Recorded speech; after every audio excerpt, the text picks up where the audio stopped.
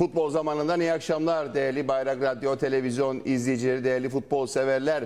Aksa Süper Lig'de 5. hafta karşılaşmaları 4'ü bugün oynandı. Bu 4 karşılaşmanın da özet görüntülerini birazdan ekranlara getireceğiz. Toplu sonuçları hemen verelim. Mausa Türk Gücü 1, Cihangir 2, Doğan Türk Birliği 2, Çetinkaya 0, Göçmenköy 0, Yonpaş Dumlupınar 3 ve Meserya 1, Lefke 0. 4 karşılaşmanın da özet görüntüleri birazdan ekranlarda olacak tartışmalı pozisyonlarımız da var. Ve her zaman olduğu gibi sevgili Yusuf Yıldızev'le birlikteyiz. Spor yazarı arkadaşımız Yusuf Yıldızev hoş geldin.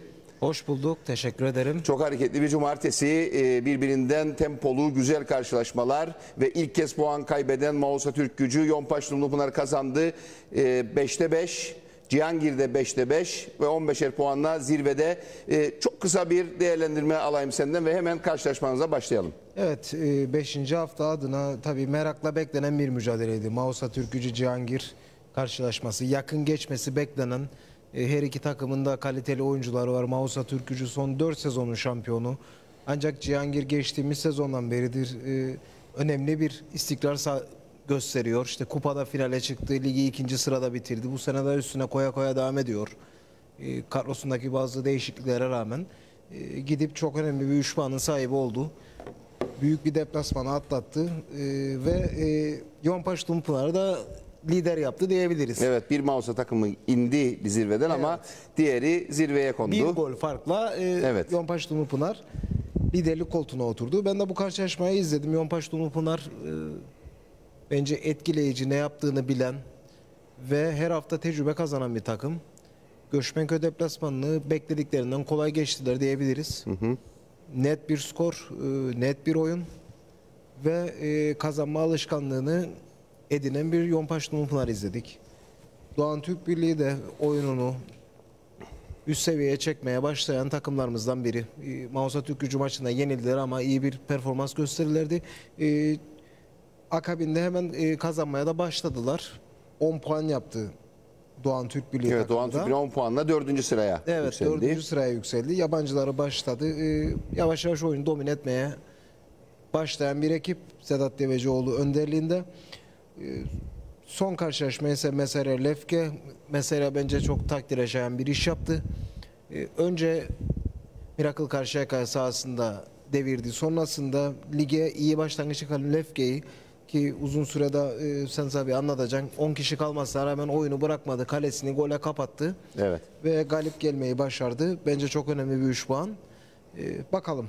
Evet izleyeceğiz karşılaşmaları da izleyelim ve e, ayrıca yorumlarımızı yapacağız. İlk karşılaşmamız hazır değerli yönetmenim Erkut Masucu, Mausa Türk Gücü, Cihangir. Belki de haftanın en önemli 2-3 maçından bir tanesiydi. Zirveyi ilgilendiren bir karşılaşma. Lider ve ikinci sıradaki takımlar karşı karşıya geldiler. İzliyoruz sonrasında stüdyodayız. Son hazırlıklar yapıldı. Şam ve çalan düdükle Mausa Türk gücü maça başlıyor. BRT Spor servisi olarak her iki takıma da başarılar diliyoruz. Selçuk karşıladı. Süleyman Dukara yaptı ortasını. Sercan ama ondan önce Arif topu karşıladı. Arif'le atak gelişecek faul. Şimdi işaret verildi. Bakalım nasıl bir organizasyon olacak. Arif topun üzerine geliyor. Arif sert bir vuruş. Kaleci Yunus'ta kalıyor top. Evet gelişen atak Mustafa Sağ. Yunus açılan top. Sercan topa daha yakın ve şimdi karşı atak olacak. Tehlikeli bir anda Yunus karşıladı. Arif'le atak devam ediyor. Arif kaleye baktı. Vuruş üstten top dışarıda. Oyunun yönü sağ taraf. Yusuf Beyazi.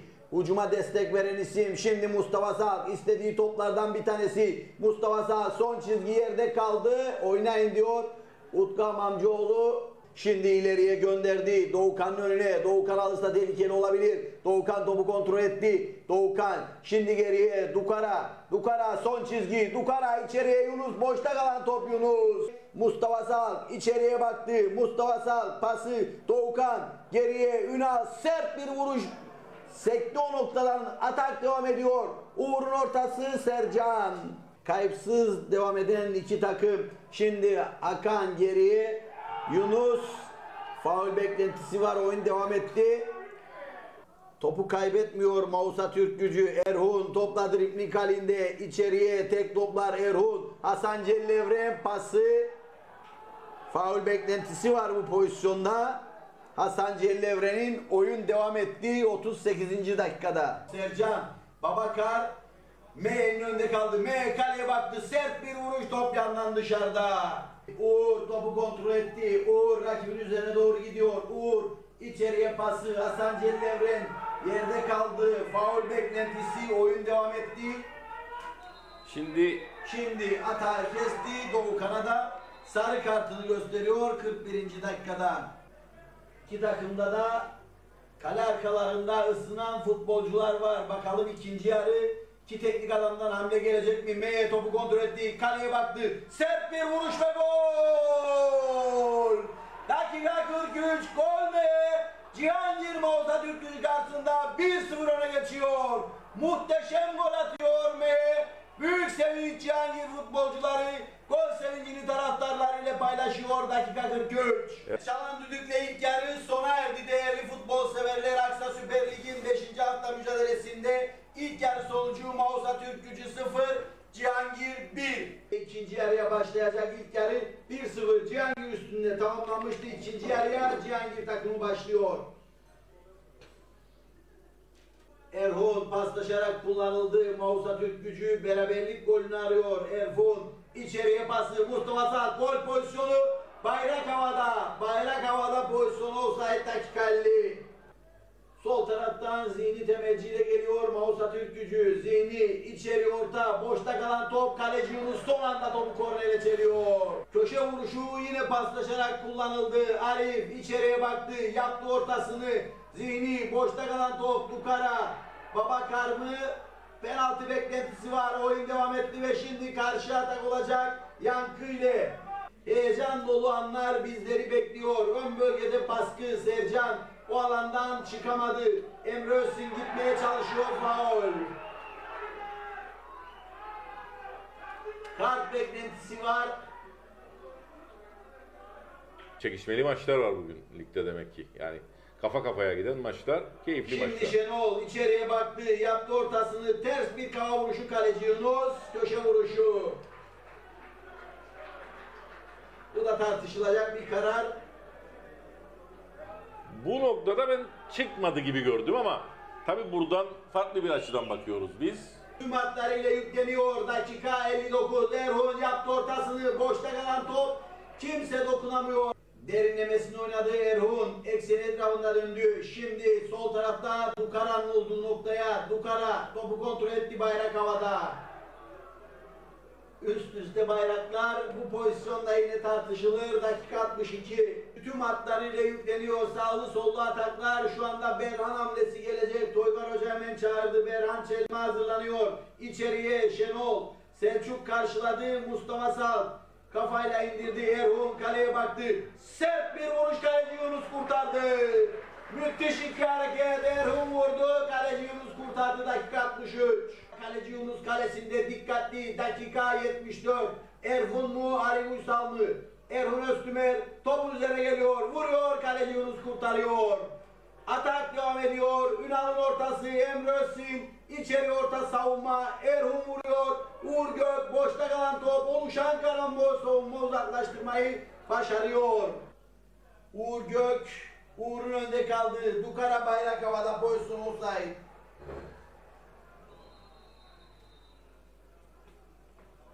Evet.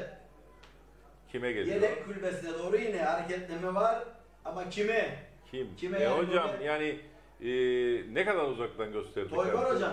Toygar Yani Toy- geçtiğimiz haftalarda da yine bu statta yani kulübede gösterileni dışarıya alıp göstermeleri gerekiyor. Bu kart kime çıktığını açıkçası anlamış değilim. Benim anladığım Toygar Hoca. Öyle gözükür buradan. Evet M ile gelişen atak. M pası. Şimdi Sercan baskı var. Sercan. Babakar topun indiği nokta. Faul beklentisi var. Oyun devam ediyor. Şimdi Erhun 90 artı 3 değerli futbol severler. Uzun gönderilen top. Dukara savunma arkasında gol pozisyonu. Kaleci Yunus sonrasında Utku Amancıoğlu kırmızı kartını gösteriyor. 90 artı 3 savunmanın arkasında kaleci Yunus topu eliyle kontrol ediyor ve kırmızı kart görüyor. Maçta 93 dakikada yaptığı tek hata Yunus Yeşilırmak'ın gerçekten savunma arkasında da savunmada yapılan büyük hata Ve Yunus çok büyük tepki gösteriyor arkadaşlarına. Kırmızı kart görüyor. Yunus yapabileceğinin en doğrusunu Yunus yaptı ama şu anda saha şimdi buradaki Gereksiz hareketler. Ufuk'un oraya gelmesini hiçbir sakın e, oraya gelmemesi gerekir. onun Geçtiğimiz oraya hafta bunu çok tartıştık. Evet. Bu konuda da Ufuk Şimşek Ufuk ne yapmaya gitti oraya kimse anlamadı. eldivenleri şeyleri toplamaya çalıştı.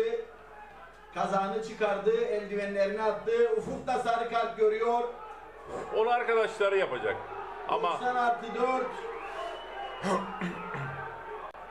Yunus da tabii şu anda e, Türk'ücü taraftarları tepki gösteriyor. Kaleci Yunus'a 93 dakika gerilmeyen ortam bir anda 94'te gelen kırmızı kartla gerildi şu anda. Saha içerisine girmeye çalışan taraftarlar var. hiç gereksiz. şişeler var. Bunlar da gereksiz şeyler çok Gereksiz fazla. hareketler değerli futbol severler. Yani sonuçta Hüseyin Karavezirler başkan da o noktaya hareketleniyor. Ortam gerildi. Yedek kulübesine doğru hareketleniyor. Mausa Türk gücü taraftarları. Diğer taraftan da serbest vuruşla oyun başlayacak ama maçın hakemi Utku Amamcıoğlu Cihangir yedek kulübesine bakıyor. Emniyet güçleri o anda önlemler almaya çalışıyor. Oyun henüz başlamadı. Bizim saatimize göre 90 artı 5'te geride kaldı. Tepkiler devam ediyor. Oyunla başlayacak. Genç kaleci Hasan Can şu anda kaleye geçti. 90 artı 6 türbünlerde şu anda saha içerisine giren taraftarlar da var. Onu hemen belirtelim. yani oyunun şu anda başlamaması lazım aslında. dönerse takip edeceğiz. Şu Oyun- anda Dino Peter, Hasan Can arkadaşlarını uyarıyor. Sahada seyirci var. Şu anda oyunun başlaması lazım. Evet saha içinde seyirci var. Utku Amamcıoğlu işaretini verdi. Dino Peter içeri orta kaleci Hasan Can. Gözler maçın hakemi Utku Amamcıoğlu'nda. Dakika 90 artı 7. Babakar ceza sahasında. Babakar gol pozisyonu şut kaleci Ufuk. Muhittin ve gol. 90 artı 7 Muhittin Tümbül. Maçı bitiren isim oluyor. 2-0 öne geçiyor. Cihangir bir anlamda maçı koparıyor. 90 artı 7 gol Muhittin Tümbül. Skor 2-0 oluyor. Şenol Şoför Hüseyin Eyüpler diyaloğu var. Diğer tarafta Cihangir'in gol sevinci var. Şenol Şoför şu anda tepki gösteriyor. Toygar Hoca'yla konuşuyor. Utku Amamcıoğlu 90 artı 7. Gol Muhittin Tumbül ama golde Babakar'ın katkısı büyük. Çok heyecanlı, tansiyonu yüksek bir karşılaşma. İçeri orta kafa Sancan. Mustafa Salt burada Sancan kurtardı. Açılan top. Emre gol pozisyonu Dukara şut ve gol. 90 artı 8 Dukara atıyor. Farkı bire indiriyor. Neler oluyor neler son bölümde. 90 artı 8 gol Dukara. Mausa Türk gücü farkı bire indiriyor. Erhun kullanıyor. Arka direğe doğru Hasan Can. Boşta kalan top Emre. O ufuk, ufuk vuruyor topu dışarıya atıyor. Ve sonrasında da Utku Amamcıoğlu çalan düdüğüyle 90 dakika tamamlanıyor. 90 dakikalık sonuç Mausa Türk gücü 1, Cihangir 2, sevinen taraf Cihangir oluyor. Evet Cihangir deplasmanda kazandı 2-1 Mausa Türk gücünü yendi. Mausa Türk gücünün ilk puan kaybı, ilk mağlubiyeti ve uzun zaman sonra da kendi sahasında ilk mağlubiyeti oldu. Ve Cihangir 5'te 5 yapmış oldu. Yusuf Yıldızev e, tartışmalılarımız gelsin istersen. Gelsin. Erkul Mahsucu rica edeyim. Önce tartışmaları alalım hemen ve öyle devam edelim. Çünkü bayağı tartışmalımız var. Evet ilk tartışmalı burada Erhun mu pozisyonda? Hakan'la Erhun.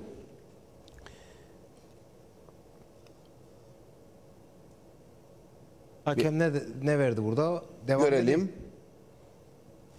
Taç taç işareti var e, özetleri Ama izlerken. Yani oyuna devam doğru karar burada bana göre. Hiç çok böyle bir şey olduğunu düşünmüyorum. Yani ayak bir tek ayakla müdahalesi var mı ona dikkat ettim. Ben yoksa ikili mücadele sonuçta. Hakan zaten, E zaten topa dokunmuş. Eğer Evet. bakacaksak birincide de e, arkadan şey Evet. var. E, orada Erhun'un teması var Hakan'a ama bence oyun içerisinde yani çok akıllanacak bir nokta değil diye Evet. düşünüyorum. Geçiyoruz bunu. Herhangi bir şey olmadığını düşündük. Bunu geçelim. Bir sonraki.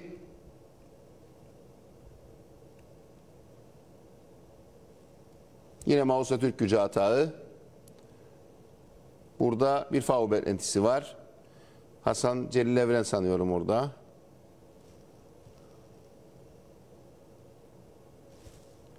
Evet Hasan Celil Evren.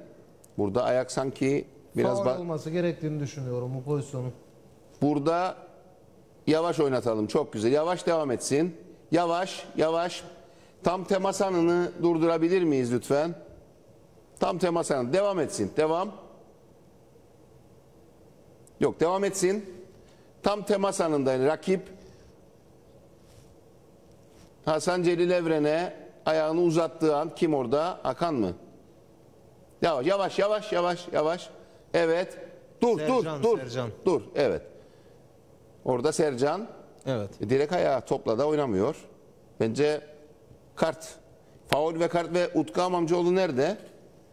Yakın abi. Ben Tam- kart olduğunu düşünmüyorum bu pozisyonda. Ben açık faul ve sarı kart olarak Faulün yeterli olduğunu düşünürüm. Yani bu sertlikte, bu seviyede bir mücadelede yani bu tip bence çok pozisyonda olmuş olabilir. Ama top nereye gidiyor Yusuf Yıldız'a? Bir de o var. İşi tamam daha önce e, davranan Hasan Celil Evren çünkü. Zaten bence biraz ortada bir pozisyon ama Hasan Celil Evren daha çabuk davrandı. Bence Evet. faulü vermesi lazım çok yakın pozisyona. Ben kartın eksik olduğunu düşündüm. Sen sadece faul dedin. Geçiyoruz bir sonrakine. Uğur burada içeriye pası. Evet burada da bir müdahale. Burada da bir müdahale var. Arda arda iki müdahale, iki faul pozisyonu. Burada faulü yapan Cihangir'den Çağrı mı? Bakalım ona. İlk pozisyonu alalım. Arkadaşlar ilk pozisyon. Evet ilk pozisyon. Yavaş yavaş. Bunu yavaş oynatalım önce. Burada yok Çağrı değil. Çağrı burada. İbrahim Karadal sanırım. Evet İbrahim Karadal. İbrahim. Karadal'ın pozisyonu. Önce İbrahim Karadal'ın pozisyonunu alalım. İlk pozisyonu alalım önce. Yavaş. Burada yavaş oynatalım. Burada yine Hasan Celil Evren mi geliyor topa? Evet. Yavaş. Hasan Celil Evren gelmiş. Yavaş. Duralım burada. Duralım. Duralım. Burada bir adım öne atmış. Bak bir adım önde Mausa Türk gücü futbolcusu. İbrahim sanki arkada kalmış gibi. Devam. Bir tık daha gidelim. Dur burada. Bir yok öne gidelim. Tamam dur burada. Dur. Çok güzel. Abi sağ ayağıyla Mausa Türk gücü futbolcusunun sağ ayağına vuruyor. Yani temas var ve ben penaltı olduğunu düşünüyorum. Burada da Utku Amamcıoğlu tam önünde Yusuf Yıldız'ı. Sevgili yönetmenimiz Erkut bir hızlı oynatabilme şansın var. Evet hızlı oynatalım lütfen.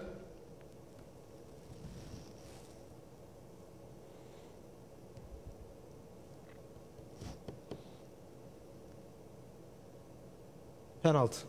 Kesinlikle penaltı Penaltı. Ama devam demiş Utku Amcaoğlu tam önünde. Sonrasındaki pozisyon Yani o penaltı olsa bu kart olmayacak ama bu, Doğukan. kart- bu kartın e, doğru olduğunu düşünüyorum ben pozisyonda. Tamam. Şimdi devamında tabii ki olmayacaktı ama oldu. Oldu. İkinci pozisyonu alalım o zaman. İkinci pozisyonu alalım.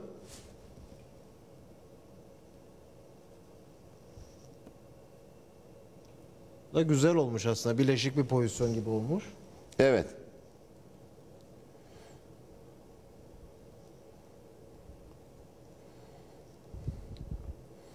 Evet, ileriye gittik. Ee, Yok o faul pozisyonunu istiyoruz ee, arkadaşlar. Bir önceki pozisyon.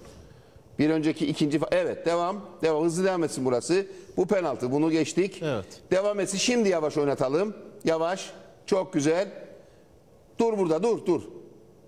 Burada da Doğukan'ın teması var. Yine Sercan değil mi pozisyonda? evet. Doğukan'ın Sercan'a yaptığı hareket. Tamam burada kart.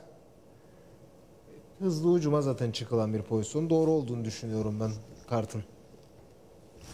Evet geçelim. Bunu geçtik. Bir sonraki pozisyon. ikinci devre oldu. 1-0 önde Cihangir tabii ki. Ara pası Belki Mustafa Salk. Offside. Erhun'un ayağından çıkmadan önce belki görebilme şansımız var sanırım. Tamam devam etsin. ama Erhun'un tam vurduğu an topa. Erhun'un tam topa son pas. Burada. Evet. Geri. Geri. Tamam. Çok güzel. Bir daha öne. Bir çok güzel harika dursun burada. Yok. Tamam burada dursun. Çok güzel. Yayın ekibine teşekkür edelim. Dukara'nın yanındaki futbolcu Selçuk sanıyorum.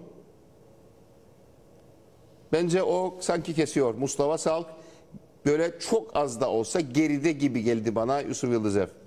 hani ölçümü nasıl yapabilirik bilmiyorum ama Yani şimdi arkada da iki, iki futbolcu var Cihangir'in. Onlar önde belli yani.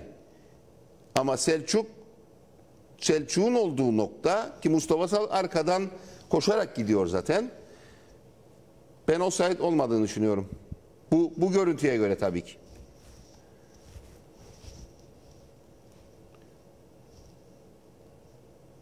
Ne dersin? devam et dribbling bir. Devam etsin.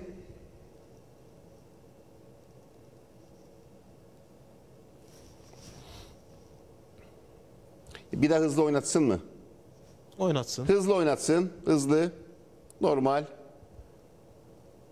Tamam böyle geldik. Evet pası hani dokundan. Tabii çok ince çizgi gerçekten. Hakeme güvenecek. Yani yardımcı hakemlerin işi Yani e, şimdi yardımcı hakem orada biz burada çapraz aç- açıdan nasıl bir yani yorum buradan yapalım gör, tabii biz görüntüye göre konuşuyoruz. Bana göre değil ama yani öyle bir e, çizgi ki öyle bir pozisyon ki Evet. Evet. Tamam. Tamamdır. Geçelim. 51. dakika. Burada bir evet penaltı beklentisi sanıyorum. Dukara'nın pozisyon e, orada Babakar'la Dukara mı ikili mücadelede? Evet. Orta yapılıyor. Sekti burada. Babakar'ın bir çekmesi var gibi gözüküyor. Dukaran'ın da bir tutması var gibi gözüküyor. Evet, sanırım ben- içerisinde. Devam. Yavaş devam edelim. Yavaş oynasın. Çok güzel. Devam. Devam. Devam.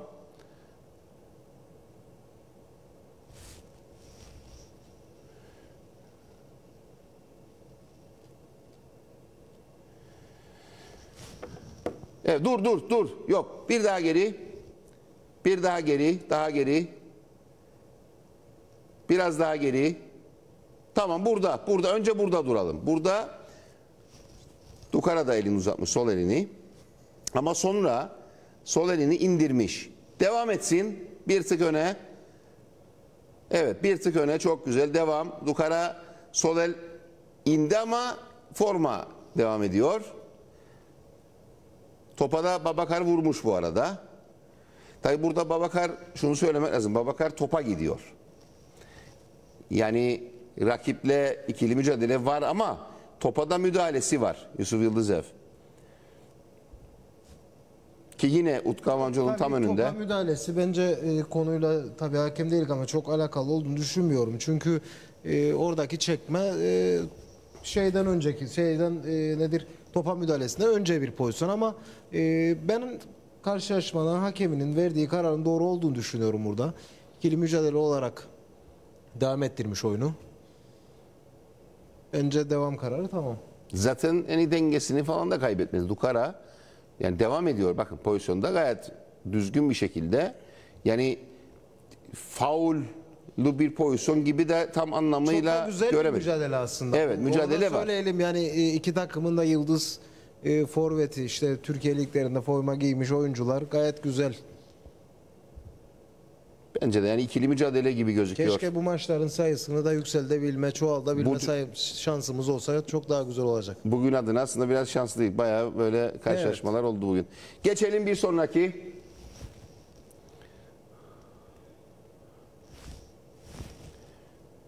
Yine bir offside pozisyonu sanıyorum. Şenol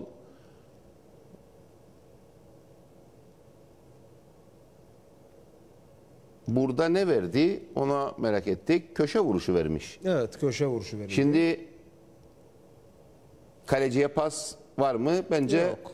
Yok, Kafayla orada değil mi zaten? devam etsin. Evet, yavaş devam edelim. Çok güzel. Devam etsin böyle. Burada ters bir kafa vuruşu Sercan'dan. Top, top oyun alanı içerisinde ama. Bir de bayağı bir içeride gibi sanki. Yani ne, niye nasıl köşe vuruşu? Yardımcı hakem bakalım kimmiş? İbrahim Katmer. Önü de gayet açık net net bir şekilde görmüş olması lazım. Top oyun alanının içinde. Niye köşe vuruşu verdi ki? İlginç. Gerçekten ilginç. E, Bugün izleyen arkadaşımız e, değerli yönetmenim Erkut Mansurcu karşılaşmayı izledi de bu pozisyonda köşe vuruşu verdi sanıyorum değil mi E, Erkut bana bilgi verirsen iyi olur. Bu, pozisyon bu enteresan ama Yusuf Yıldız yani top oyun alanı içerisinde ikimiz de görebiliyoruz değil mi? Evet Erkut da e, onayladı. O da aynı şekilde oyun alanı içerisinde olduğunu söylüyor topun. Ama köşe vuruş kararı. Yanlış karar. Geçelim. Geçelim, yanlış Geçelim, karar. yanlış Bu karar. geçelim. Devam. Bir sonraki evet. Bu da yine offside mı? Evet offside. Dukara topa vurduğu an Erhun'un topa vurduğu an geri geri topa vurduğu an Tamam burada duralım. Bir, bir tık daha öne. Yok. Bir geri. Tamam. Böyle daha böyle daha Böyle daha iyi. Tamam. Burada, burada ce- burada offside yok. ceza alanı çizgisine bakıyorum. Dukara tam çizginin hizasında ama çizginin Burada offside gerisinde yok. gerisinde Cihangirli futbolcu var. Nasıl olsaydı? Yani diğer pozisyon için öyle bir şey söyle. evet o biraz şeydi evet. Burada Devam etsin. Devam. Offside yok. Devam. Bakın arkada futbolcu zaten var. ilk izlerken da yani hızlı izlediğimiz anda da öyle geldi bana. Çağrı Kral sanıyorum orada. En gerideki futbolcu. Çağrı Kral offside'i bozuyor. Bu offside değil. Benim ben de offside olmadığını düşünüyorum. Evet bu offside değil bence. Değil, offside değil. Geçtik bunu da.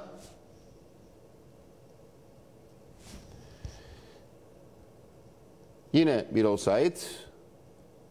Bunu ben montajda da dikkat ettim bu pozisyona. Bu da çok enteresan ama tabii devamında bir sarı kart. Bunu da Utku Hoca tribünlere sarı kart gösteriyor galiba.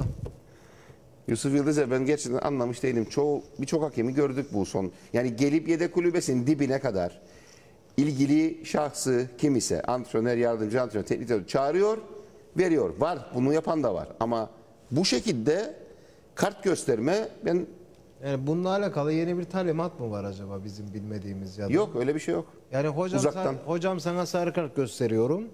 Ee, 30-35 metreden gösterip geçebilirim. Bilmiyorum yani. Sarı kart gösterici futbolcuya sarı kart gösterirken uzak mesafeden mi göstersin saha içerisinde? Hayır. Yanına gidersiniz ve yanına çağırırsınız. Göstersin. Bu da aynısı olması lazım. Bu arada offside'i tekrar alalım. Offside pozisyonunu. E, pozisyonun başına alalım bir daha. Onu geçmeyelim. Evet. Topa vurduğu an. Yok geri geri geri geri. Uğur'un Uğur'un topa vurduğu an. Bir tık öne, öne. Biraz daha öne lütfen. Tam topa vurduğu an durabilir. Evet, yok geri. Tamam, burada. Şimdi ben de birkaç defa izledim az önce montajda. Yani tüm pozisyonları yetiştiremedik ama en azından bunu izledim. Selçuk en geride. Cihangir savunmasında. Çizgide bak görüyorum burada. E, pozisyonda Dino Peter mi? Evet Dino Peter pozisyonda. Dukara muhtemelen orada Yok, ama. Yok Dino- Dukara geride. burada Bak, geride. Dukara Tamam. geride. Orada Dino Peter. Yani ben gene şüpheli bir offside. Yok geri geri de yok kalsın orada. Kalsın iyice görelim orayı. Tam vurduğu an. Bir tık öne. Bir, bir daha. Tamam. Burada dursun lütfen. Bak. Yani Selçuk'la tam hizadadılar. Yine ben offside olmadığını düşünüyorum. Ben net bir e, fikrim yok bu konuda ama Dino Peter 74'te oyuna girmiş. Dino e, gibi geliyor bilmiyorum yani. Tam izledi. Yani Selçuk'la tam izledi ama yani Selçuk sanki yani bir biraz daha geride gerçekten, gibi. bir- gerçekten yani. Çünkü bak, tam ne- olarak net bir fikrim yok yani. Neden de- neden öyle söylüyorum Yusuf Yıldız'ev? Şimdi Selçuk yan duruyor değil mi? Ama Dino Peters yüzü yüz, e, Uğur'a bakıyor. Yani topa bakıyor. Yani vücut yan değil işte bir kısmı önde gibi gözüksün. Onu Biraz açıdan çok net olması lazım bu işin. Yani biraz önce bence Dukara'nınki netti ama e, bunda aynı fikirde değilim yani. Tam benim için net bir pozisyon ben değil. sanki offside gibi yani offside değil gibi düşündüm. Tamam devam etsin. Devam etsin. Bir de tekrar o sarı kartı bir daha görelim ve sonra geçelim. Devam etsin. Bu arada uyarı gelmiş. Yani dördüncü hakemden uyarıyla geldi bu sarı kart sanıyorum. Dördüncü hakemimiz Hüseyin Eyüpler. Çünkü çok uzaktı pozisyona. Eliyle işaret ediyor Yusuf Yıldız'a bu arada. Evet hocam sana gösterdim. Yani Toygar Davulcu'ya yani baş yani e, maçı anlatan Bunda bir soralım biz de. Yani e, bununla alakalı yeni bir talimat, bir ya da talimat bu mı var? şekilde mi yapılıyor? evet. Tamam. Tamam. Geçelim. Bir sonrakine geçelim. Var mı daha? Var. Devam ediyoruz. Burada Sercan. Evet şimdi iki pozisyon birbirine bağlantılı Yusuf Yıldızev.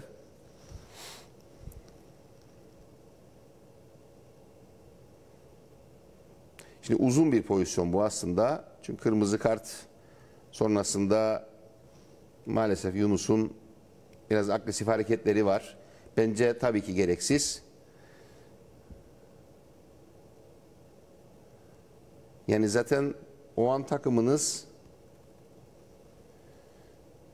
90. dakika henüz golü atmadı sanıyorum Mausa Türk gücü. Erkut Masucu bana bilgi verebilirse bu pozisyon olduğunda skor 1-0 mıydı? Skor, skor neydi? Bir, öyle biliyor. Evet 1-0'mış. Yani Yunus kaleci Ufuk'la tartıştı, hakemle tartıştı, rakiple tartıştı. Özal Hoca ısrarla sakinleştirmeye çalışıyor, almaya çalışıyor kendisini. Hala yüzü dönük saha içine. Yani şu- şöyle yani niye biraz üstünde durdum? Cihangir futbolcularında böyle çok agresiflik pek görmeyiz. Yusuf Yıldızev yani çok ya da çok seyrek olur belki. Tabi saha içerisine pet şişeler, Mausa Türk gücü taraftarlarının tepkisi de var. Saha içine giren taraftarlar var. Yedek kulübesinin olduğu noktaya. Pet şişeler yağmaya devam ediyor.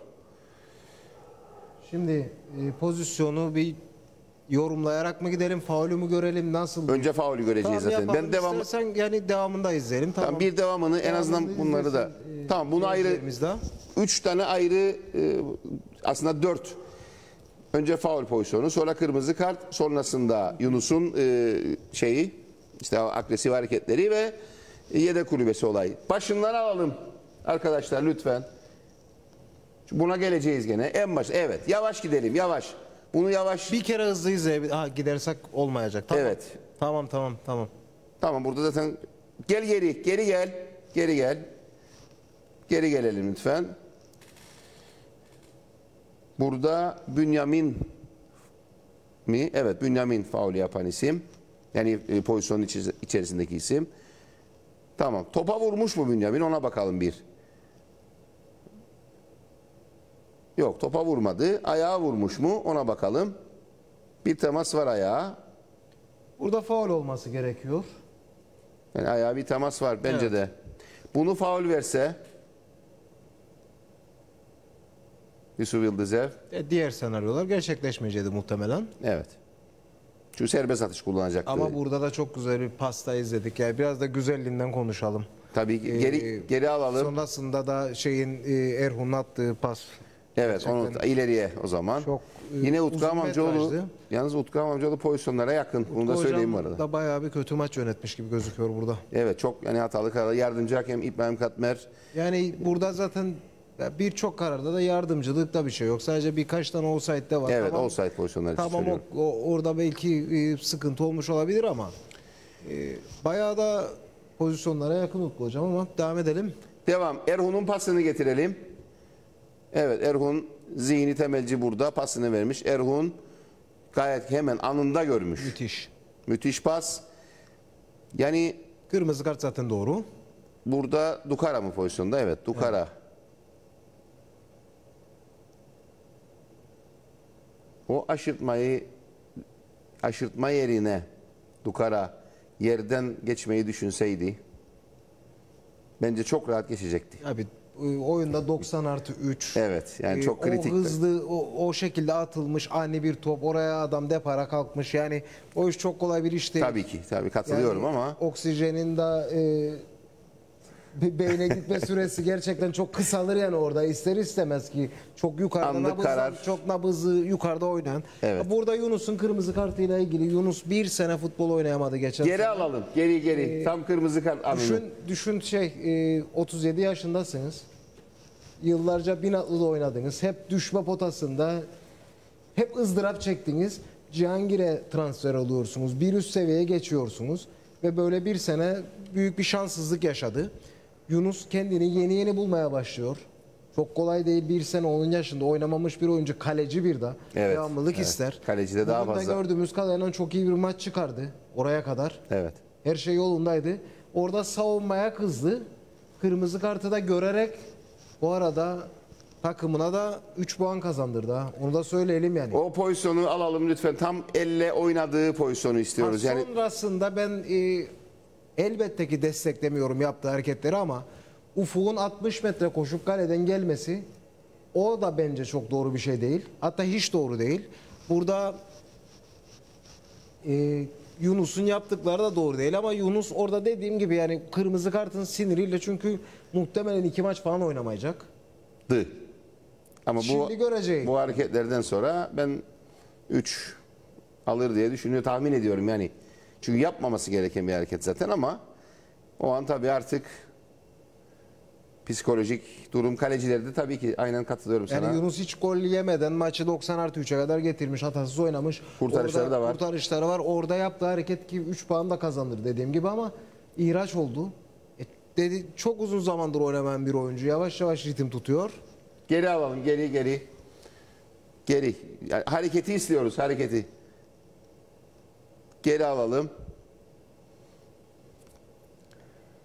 Burada bir şeye bir şeye dikkat etmemiz de lazım diye düşünüyorum. Evet. Yavaş. Öne doğru yavaş oynatalım bak. Dukara aşırtmaya çalışmış. Tabii ki yani gene doğru bir hareket sonuçta. Bak dur dur dur. Geri gel. Geri gel. Tamam dur burada. Direkt yani ayağını da uzatmış. Peki aya- ayağımla keserim diye düşünmüş olabilir Yunus burada ama zor çünkü top çok önde mesafede. Eliyle tek şansı vardı. Onu da yapmak zorunda kalmış. Göze almış zaten. Evet göze aldı orada. E, muhtemelen bu gol olsa Maç 1-0, 1-1 olacak. Havza Türk gücü ikinciyi de bulabilirdi.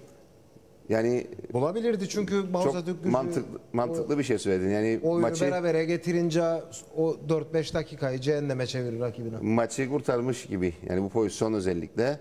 Yani e, kırılma anı gibi bir şey sonuçta. Tamam devam etsin. Bunu geçtik. Devam. Hızlı bir şekilde oynatıyoruz. Geleceğiz yedek kulübesine kadar. Devam. Tabii maalesef Ufuk'un da e, gelip oraya yani orada Mausa Türk gücü futbolcular var zaten. Yani orada tepki gösterecek veya işte hakeme, hakemi uyaracak. Bu arada hakem tabii ki Utku Amcaoğlu atışın yapılacağı yerde sonra evet burada uyarısını yapmış. Bak ama yani iki kaleciyi de tartışırken görmek çok çok seyrek, çok e, uzak ihtimal hep. Geçen sene de sanıyorum Ufuk'la Türkan'ın bir tartışması vardı. E, Mausa Türk Gücü Yonpaş Dumlupınar karşılaşmasında. O da enteresan gelmişti bana. Yani en uzak saha içerisinde iki futbolcu buluşuyorlar bir yerde. Yani son derece gereksiz. Yani Özal Koca da Ufuk'un ilk defası değil diyorlar. Yani, Yani- buraya kadar gelmesi. Bak yine sarı kart. Yani Özal Hocam burada müdahale etmiş ama Devamını izleyelim. Yani çünkü burada kart da doğru. Bence kırmızı kart tamam doğru. devam etsin. Devamını devam. getirelim. Durma yok. Bayağı bir zaman harcadık tabii evet ki. harcadık. Ee, Devam etsin. Daha 3 karşılaşmamız var bu arada. Tribünler bu kez hareketlendi. Saha içerisinde girmeye çalışan Mausa gücü taraftarları, pet şişeler, tabii ki Yunus'a yani burada gördüğümüz kadarıyla Yunus'a bir tepki var. E, Diğer futbolculara veya antrenörlere, teknik direktörlere veya yöneticilere değil. Polisler tabii ki geldi. Saha içerisine giren taraftar da var maalesef. Bak sakinleşin diyor. Yedek kulübesi de orada hani herhangi bir agresif hareket de yapmamış. Yedek kulübesindeki diğer oyuncular, Cihangir'in diğer işte yöneticileri, oyuncuları onlar da tamam diyorlar. Biz müdahale ettik diyorlar. Bu arada Erol'u gördüm. Ee, Cihangir futbolcusu bu sezon oynamıyor. Erol Aksunlar o da orada. Evet, bir sonraki tartışmalı mı bu? Yok. Var mı başka? Tamam o bitti Yani, pozisyon. e, Yunus'un Başka var mı? Yunus'un oyundan çıkmasından sonra güvenlik tedbirlerinden dolayı tribüne gitmediği bilgisini aldık. Evet. Şimdi biz buraya e, bu önemli maça polisleri çağırdık. Değil mi? Bir güvenlik önlemi var. Biz bir adamı tribüne koyamıyoruz. Yani burada o kadar büyük bir tehdit var. Ve yani polisimiz de alıp da çekemiyor. geri alalım. Yani Bu- bu, bunu- bence konuşulması gereken bir şey Hemen var. geri Eğer- alalım. Eğer burada da Geri geri. burada da Mausa tarafında da böyle bir sıkıntı, agresiflik var ise bunun da çözülmesi gerekiyor. Yani e,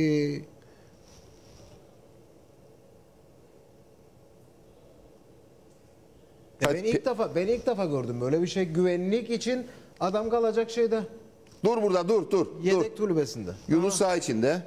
Evet. Yani polis güvenliği sağlayamıyor mu? Bir de o var. Yani orada yedek kulübesi Evet. ve soyunma odası hemen arkadadır.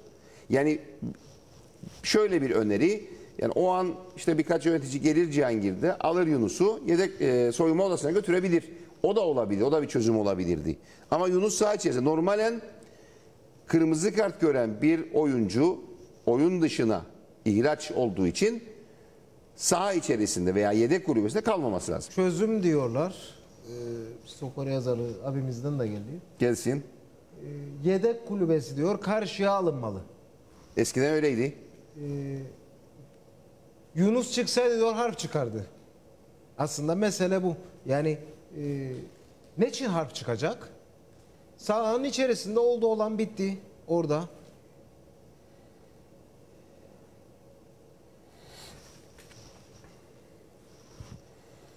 Yine tabii orası karışık. Tabii zaman zaman yaşanıyor. O rakip takım yedek kulübesi önünde e, ufak tefek bazı taraflara tabii hepsi gelmiyor. Bu arada Yusuf Yıldız onu söyleyeyim. Tüm taraftarlar da oraya gelmiyor. Açık Taraftarlar gelmiyor ama 15 kişi gidince de polis orada güvenliği sağlayamıyor. evet, sıkıntı var. Or- orası için bence e, Yani- kesinlikle bir tedbir alınması lazım. Yani ya dediği gibi, denilen gibi karşıya mı alınır? Başka türlü mü yapılır?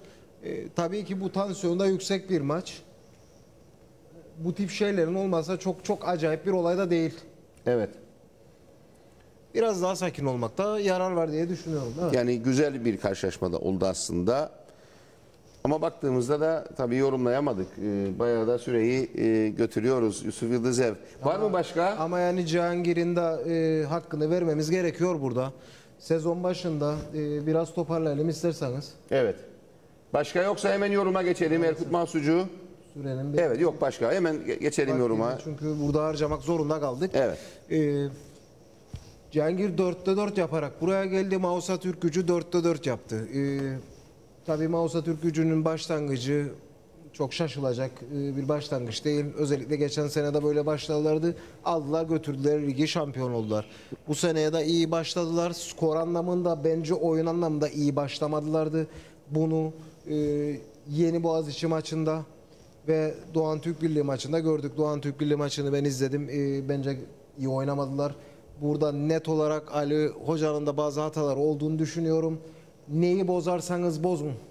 İleri üçlüğün bozuyorsunuz. Orta saha ikilisinin bozuyorsunuz. Beklerin bozuyorsunuz. Savunma ikilisini oturtmak zorundasınız.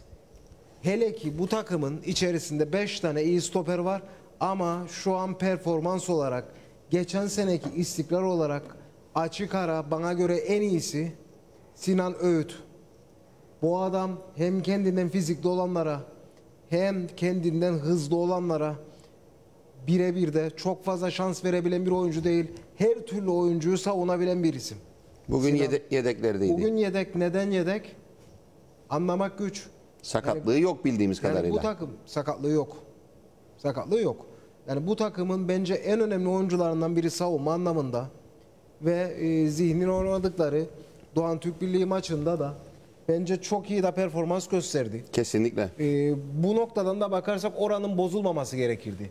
İkinci bir konu. Yani Sinan'la beraber zihni Zihni Sinan bana göre şu an o. İkinci bir konu. Bu takımı Süper Kupa kazandıran, her girdiği maçta etki bırakan, 11'e koy gene etki bırakan oyuncu Emre Özsin. Ee, ben Emre'nin yerinde olayım. Açık konuşayım, isyan ederim artık.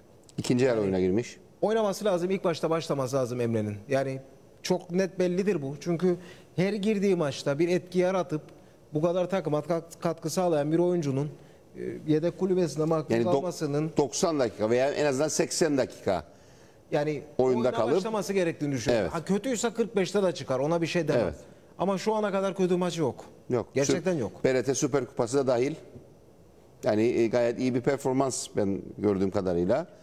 Yani e, Mausa Türk gücü geçen seneden bu seneye farklı olarak bence kaybettiği kültüründen biri bu bunu e, derhal geri kazanması lazım.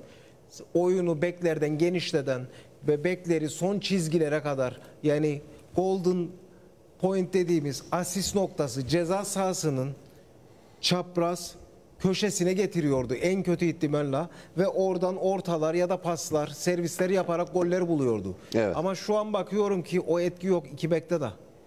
Zaten Mustafa Sak orijinal bir bek oyuncusu değil.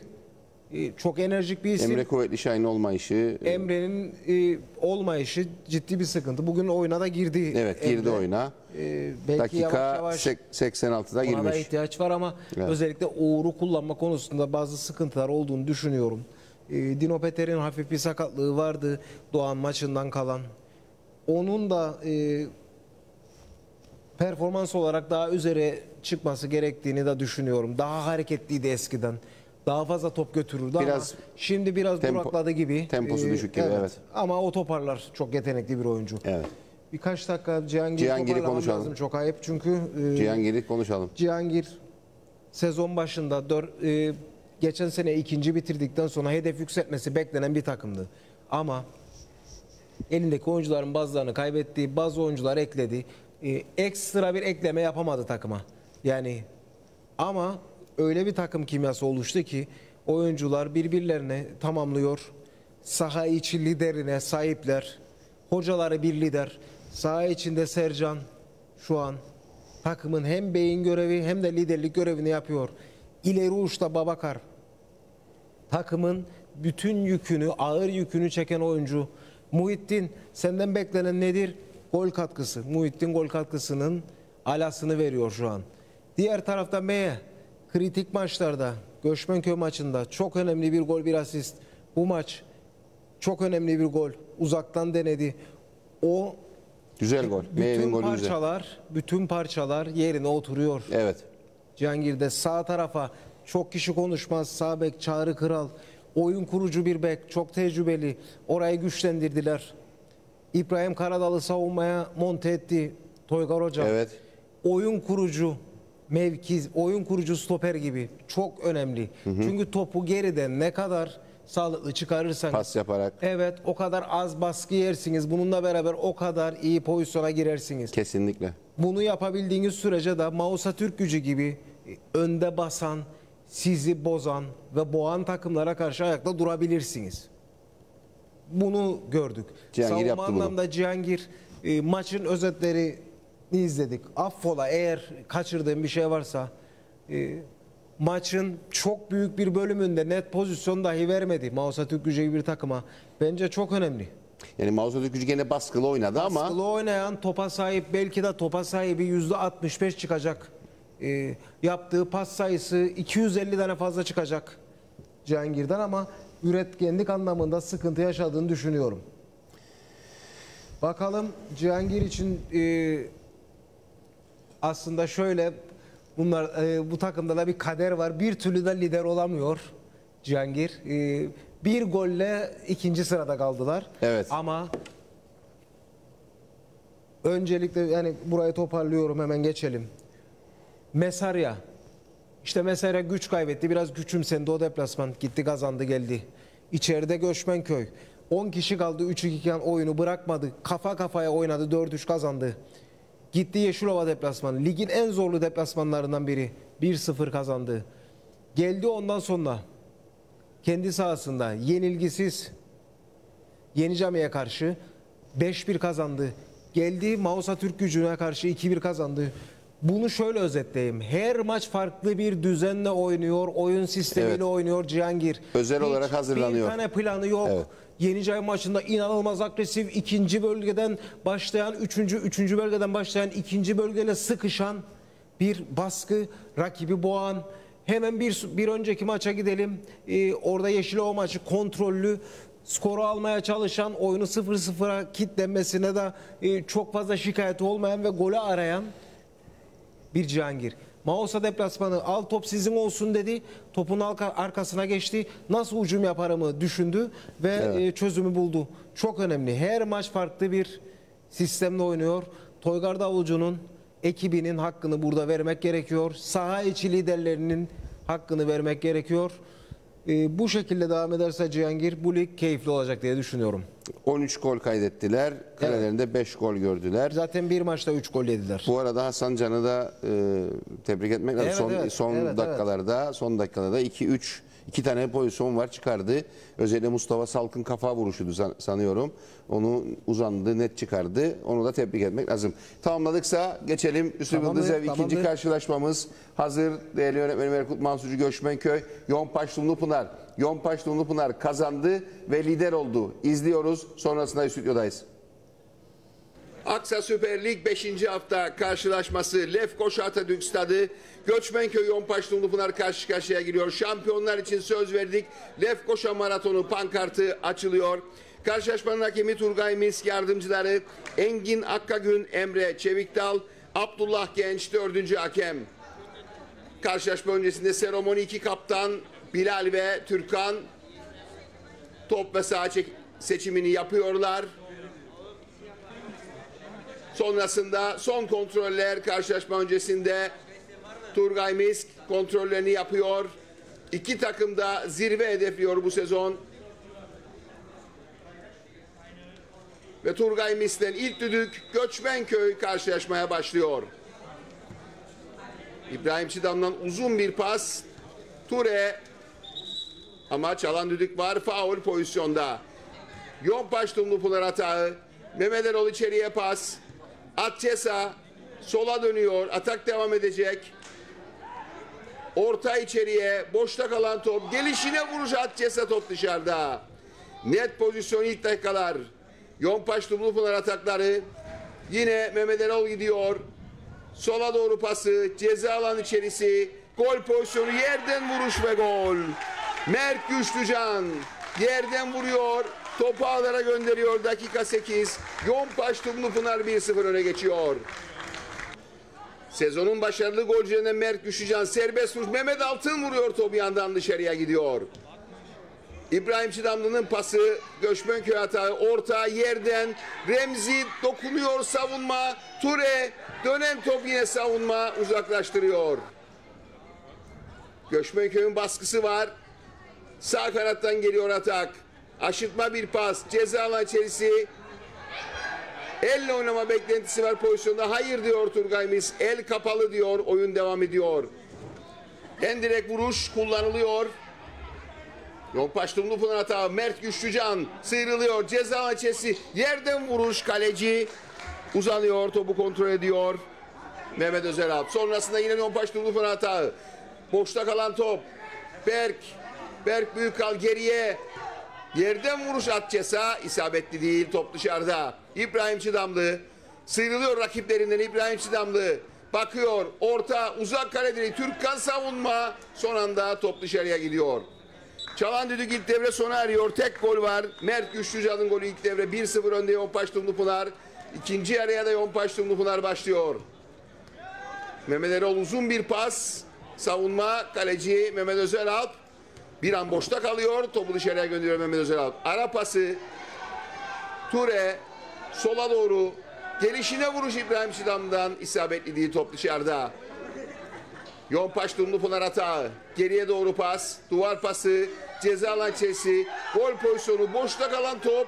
Savunma son anda topu uzaklaştırıyor Kadir. Sola doğru pas. Göçmenköy hatağı. Yerden orta son anda savunmaya koyuyor. Dönen top. Gelişine vuruş. Bayram top dışarıda. Mehmet Altın. Mehmet Altın şut pozisyonu arıyor. Mehmet Altın vuruyor. Kaleci Mehmet Özerap. Sonrasında Bilal. Yine Yonpaş Dumlupınar hatağı. Geriye doğru pas. Ceza alan. Gol pozisyonu. Vuruş savunma. izin vermiyor. Kaptırılan bir top. Mehmet Erol'un pası. Mehmet Altın topla driblik halinde. Mehmet Altın gidemiyor yerde. Sonrasında karar faul. Serbest vuruş kazanıyor Yonpaş Dumlupınar takımı. Mehmet Erol yerden vuruş Berke. Dönen top yine Berke top dışarıya gidiyor. Yonpaş Dumlupınar hata. Atcesa yerde kalan oyuncu var. Oyun devam ediyor. Atcesa vuruyor. Dönen top vuruş top. Üstten dışarıda Mehmet Altın. Net pozisyon kaçıyor. Kaptırılan bir top. Faul beklentisi var ama oyun devam ediyor. İçeriye Atcesa kaleci çıkıyor. Kale boş. Atcesa gole gidiyor. Atcesa topu ağlara gönderiyor ve skoru 2-0 yapıyor. Dakika 75 savunmanın da verdiği boşluk. Atcesa topu ağlara gönderiyor ve skor 2-0 oluyor. Ceza alan çelisi. Berk Güçlücan içeri orta yerden orta boşta kalan top ağlara gidiyor gol. Bu kez Osman Şan verdi. Gelişine vuruyor. Kaleci Mehmet Özel uzanıyor ama yeterli değil. Dakika 78. 3 dakika içinde 2 gol. 3-0 oluyor skor. Göçmenköy'ün farkı azaltma çabaları. İbrahim Şidamlı vuruş Türkler 2 hamle topu uzaklaştırıyor. Atak ceza alan içerisine düşen top. Sonrasında Geride kalan futbolcu var o noktada. Göçmenköy'den serbest vuruş kazanıyor Göçmenköy takımı. Direkt kaleye vuruş. Savunma seken top dışarıya gidiyor Mahmut Amasyalı'nın vuruşunda. Son dakikalar Yonpaş Dumlupınar hatağı. Ara pası Osman Şan verdiği gole gidiyor ama kalkan bayrak var. Offside kararı bu pozisyonda. Ve en direkt vuruş kararı Göçmenköy lehine. Sonrasında çalan düdük maç bitiyor maçın skoru. Göçmenköy 0, Yonpaş Dumlupınar 3. Yonpaş Dumlupınar Lefkoşa deplasmanında kazandı 3-0 kazandı ve lider oldu. Yusuf Yıldızev bu arada e, hemen numaraları e, getirdin. E, Getirdik, Evet, evet. bunu bir yakın alabilirsek arkadaşlar. E, bu arada maçın başlangıcı pankart da gelsin. Hemen o yarın çok önemli bir etkinlik var. Yani şampiyonlar için söz verildi. Ee, sözümüzü tuttuk. Yarın hala daha yaz- yazılma şansımız Evet. var. Bu, bu kamera. Teşekkür ederiz. Ee, hala daha yazılma şansımız var. Ee, yazılmayan varsa çok önemli bu eğitim kompleksi anıları yaşatmak için, gelecek için nesiller için çok önemli. Ee, Acılı aileler ellerinden gelen her şeyi yapıyor. Biz de Evet. e, elimizden geleni yapmaya çalışıyoruz. Herkes taşın altına elini koymalı ve e, inşallah bu eser ülkeye, Mausa'ya kazandırılmalı diye düşünüyorum. Evet kesinlikle aynı düşünceler, aynı duygular var. Yarın e, koşuyorsun şampiyonlar için söz verdik. Sen de söz verdin Yusuf Yıldızev. 21 kilometre doğru mu söyledim? Doğrudur. Yarın koşuyorsun. Sabah e, erken bugün tabii programa da geldin ama 7 7 7'de e, 21 kilometre oluyor. 7.30'da 10 kilometre ve 10.30'da da halk koşusu olacak. evet. 3 kategori 3 kategoride olacak. Evet. Evet. ve 3 kategoride e, ne kadar gelir elde ediliyorsa hepsi, Hepsi Şampiyon Melekleri Yaşatma şam- Derneği'ne e, eğitim kompleksi için verilecek ve işte e, yarınki etkinlikte de tüm katılımcılar o verdikleri sözü de yerine getirmiş olacaklar. Yarın gerçekten çok güzel bir etkinlik Lefkoşa Maratonu saat 7'de nerede başlıyor? Lefkoşa Belediyesi önünde başlayacak. Evet, Lefkoşa Türk Belediyesi'nin binasının önünde hem orada başlayacak bitiş yine Orada bitecek. e, halk koşusu da orada başlayacak. evet. Yine orada bitiş ve e, ödül töreni vesaire hepsi orada Evet, doğru. yapılacak.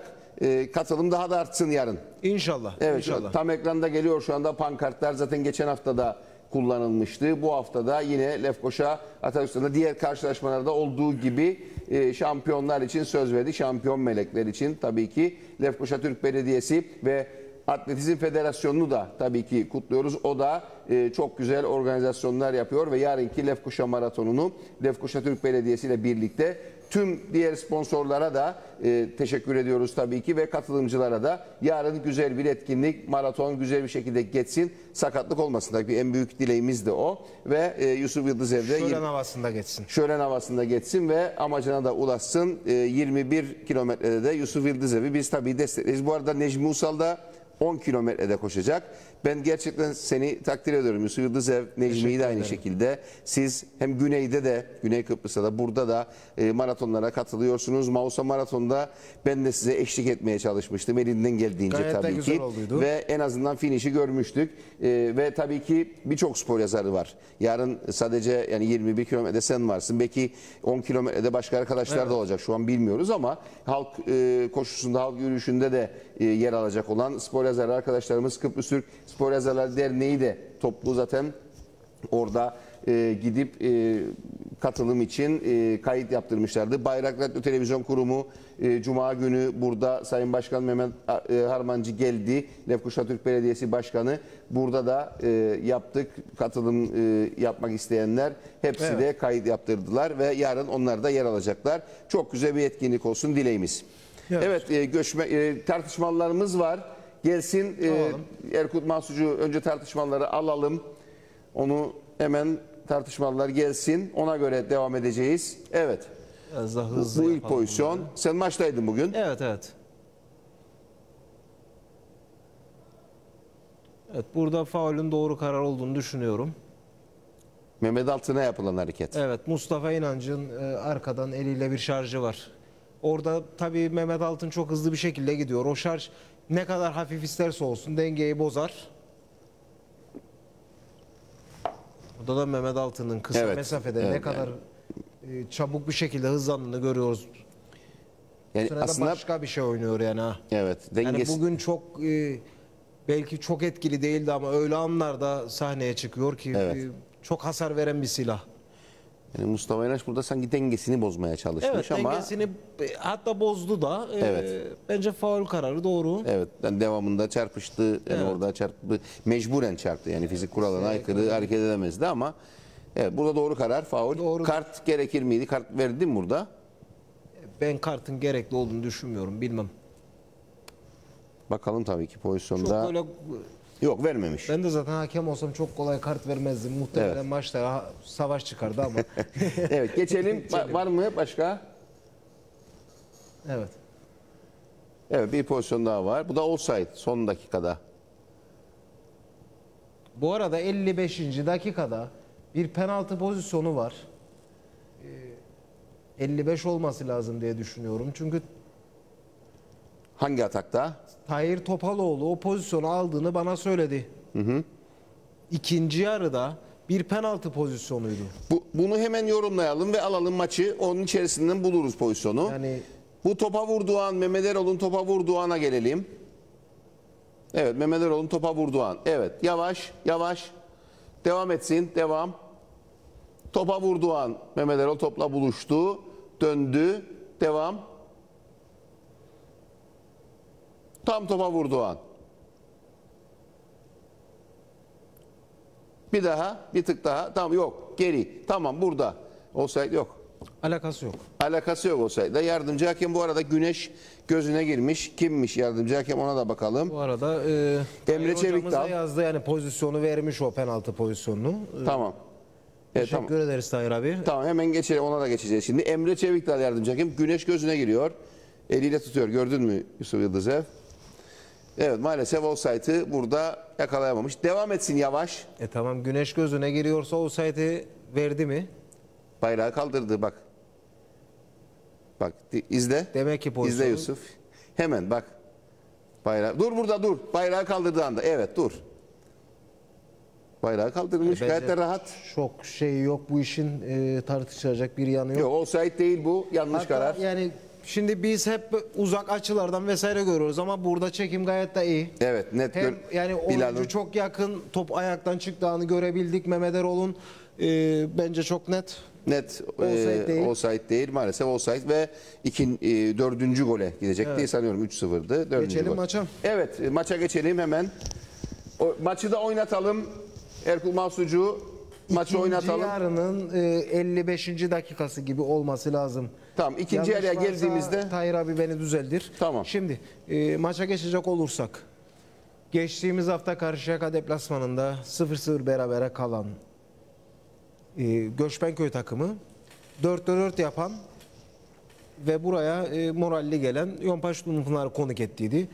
Bu maç bence şu açıdan kritik bir maçtı. 5'te 5 ile liderlik paylaşımını yapacak mı Domlupınar yoksa e, bir adım geriye mi düşecek? 7 puanı bulunan Göçmenköy ise puanını 10 yapıp Yompaş Dumlupınar'a 2 puan uzaklığa mı gelecek? Şimdi bu 5. maç olabilir ama bir sıralama, bir pozisyon belirleme konusunda bence önemli maçlar. Bugün örnek veriyorum şey maçı. E, Meserya Lefke maçı. Biri 3 puanda başladı. Diğeri 7 puanda. Kazandı Meserya 6'ya 7 yaptı. Tam tersini düşünelim 3'e 10 olacak. Aradaki makas açılacak. Burada da olay oldu. Kazanan Yompaş Dumlupınar rakibinin ki birebir olarak bunu değerlendirebiliriz. Göçmenköy takımını çünkü güçlü bir kadro. 8 puan önüne geçti. Evet. Evet. Geldi Şimdi- mi o pozisyon? Pozisyon İkinci, geldi mi? İkinci yarı bu mu? Evet bu pozisyon sanıyorum değil mi? Evet, Budur. Ee, hem Tamam geri devam alalım. edelim. Geri. Tam ekran bizi de kaldırın ekrandan. Tam ekran alalım. Evet geri burayı oynatalım lütfen. Burada pozisyonda kim? Pozisyondaki oyuncu Berk mi? Berk Büyükkal sanıyorum. Evet devam. Öne doğru devam. Berk Berk Berk Berk. Evet. Öne doğru devam. Berk Büyükkal pozisyonun içerisinde bir duvar pası yapmışlar. Ne akıllı Ara- çocuk. Çok, Çok. akıllı bir top oyuncu gerçekten. Bilal'ın müdahalesi var. Geri, geri yavaş oynatalım biraz daha. Topu döndürmüş ama yani topa müdahalesi yok Bilal'ın. Yani ben ilk izlediğimde penaltı olduğunu düşündüm açıkçası. Topa vurduğu ana bakalım bir. Berkin bile de biraz e, Öne. pozisyonu konuştuk. Çok fazla uzun olmasa da e, çok emin de değildim ama evet öne doğru. Tamam çok güzel yavaş gidiyoruz. Tam topa vurduğu anı bir yakalamaya çalışalım. Önümüzde tabii ki ekranda kadraj içerisinde futbolcu var ama gene de yakalamaya çalışalım. Dur burada dur. Burada dur. E, sağ ayağını uzatmış Bilal burada. Ama Berk de sağ ayağıyla sağ ayağını işte topa vuracak şekilde harekete geçirmiş. Devam. Dur. Dur. Bir geri. Bir geri. Bir ta- evet topu görelim. Tamam. Burada topa hamlesi var Berk'in. Berk Büyükkal topa vurmuş. yani ben hızlı şekilde e, sahada canlı gördüğümde öyle geldi bana ama dediğim gibi çok da emin değilim. Devam etsin. Zaten 3-0'lık da bir maç. Çok e, Yani sonrasında bir Son- müdahale de var. Devam ediyor ama yani ben penaltı olarak gördüm dediğim gibi. evet. Bana da penaltı gibi geldi ama Evet. vermemiş. Evet. Geçelim maça. Tamam. Devam etsin görüntüde. Şimdi e, Göçmenköy tarafından başlarsak. Göçmenköy sezon başında İbrahim Çidamlı'yı kadroya kattıktan sonra daha çok 4-2-3-1 düzeniyle sahada yer alacak diye düşünüyordum ben.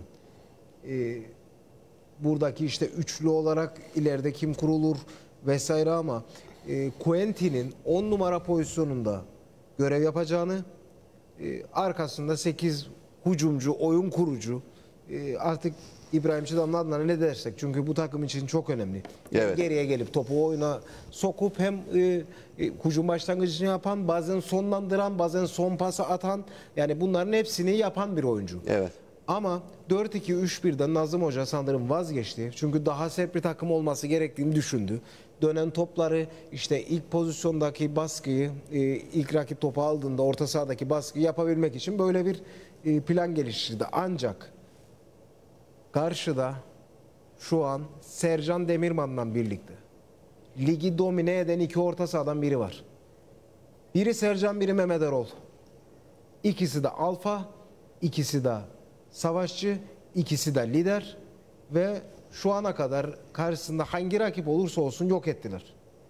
Bugün e, şimdi Reşit'le oynarsanız ve 6 numarada Reşit şöyle değerlendirmekte bence daha fayda var. Belki şu şekilde olsaydı daha iyi olabilir. Reşit Mehmet Erol topu ilk aldığı anda sen baskıya gideceksin. Yani şey gibi düşünün. E, Torreira'nın Bugün hatta Ertuğ Hoca söyledi bunu. Ertuğ Erçin güzel benzetme. Torreira'nın 8 numarada oynadığı gibi düşünün. Ön Evet. libero değil, merkez orta saha gibi olduğunu Evet. düşünün. Oradaki baskıyı yapsın çıkışta ama e, çıkıştaki baskıyı yapamadığınızda Mehmet Erol zaten sol bek orijinli bir oyuncu. Topu bir ya da iki kere dürtmeye başladı mı o saatten sonra hem çok güçlü hem sol ayaklı ters geliyor oyuncuya. Vücudunu araya çok iyi koyuyor ve topu bir türlü kaptırmıyor. Ben böyle bir şey görmedim yani. İki kişi gelir baskıya, biri omuz atar, o biri alttan çeker. Hayır. Birazdan bir futbolcu için de ben söyleyeceğim onu. Yani Mesele maçında. Artı Cedric Kore. Şimdi müthiş yetenekli mi? Hayır. Ama nedir?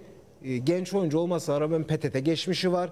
Pozisyon bilgisi var. Evet. Atletizmi var. Gücü var. Bizim ülkedeki en büyük eksiklikler zaten bu değil mi? Nedir?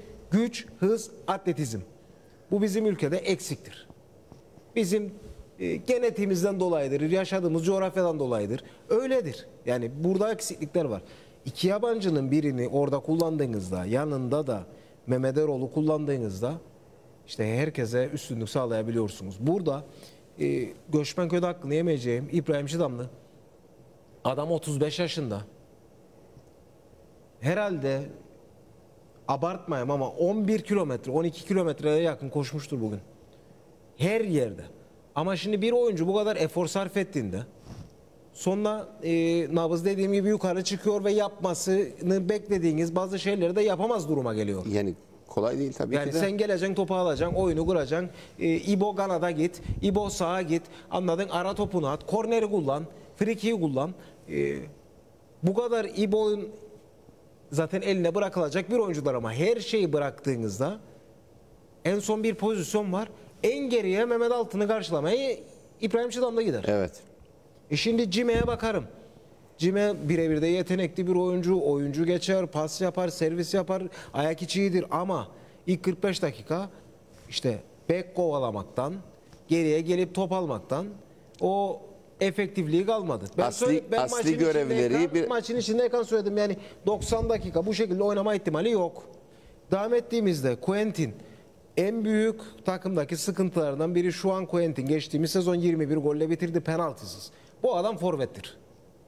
Orada kim var? Remzi var. Ligin en iyi yerli forveti. Tartışma yok. Golcüsü. Evet. Evet. Ligin en iyi santroforu Kesinlikle. yerli olarak. Tartışma yok ama Quentin ne kanatta oynayacak kadar çalışkanlığı var ne de öyle bir isteği var. Mutlu değil orada oynamaktan Quentin. Sıkıntı var demek. Evet. Yani meseledeki gibi değil. Hayır. Değil çünkü adamın mevkisi değil.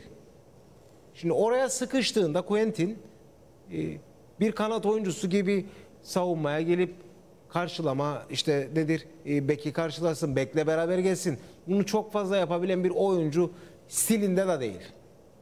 Daha çok sırtını dönsün. Me- meselede nasıl oynuyordu? oynasın. Evet, S- e, sırtta pivot oynayan bir oyuncuydu.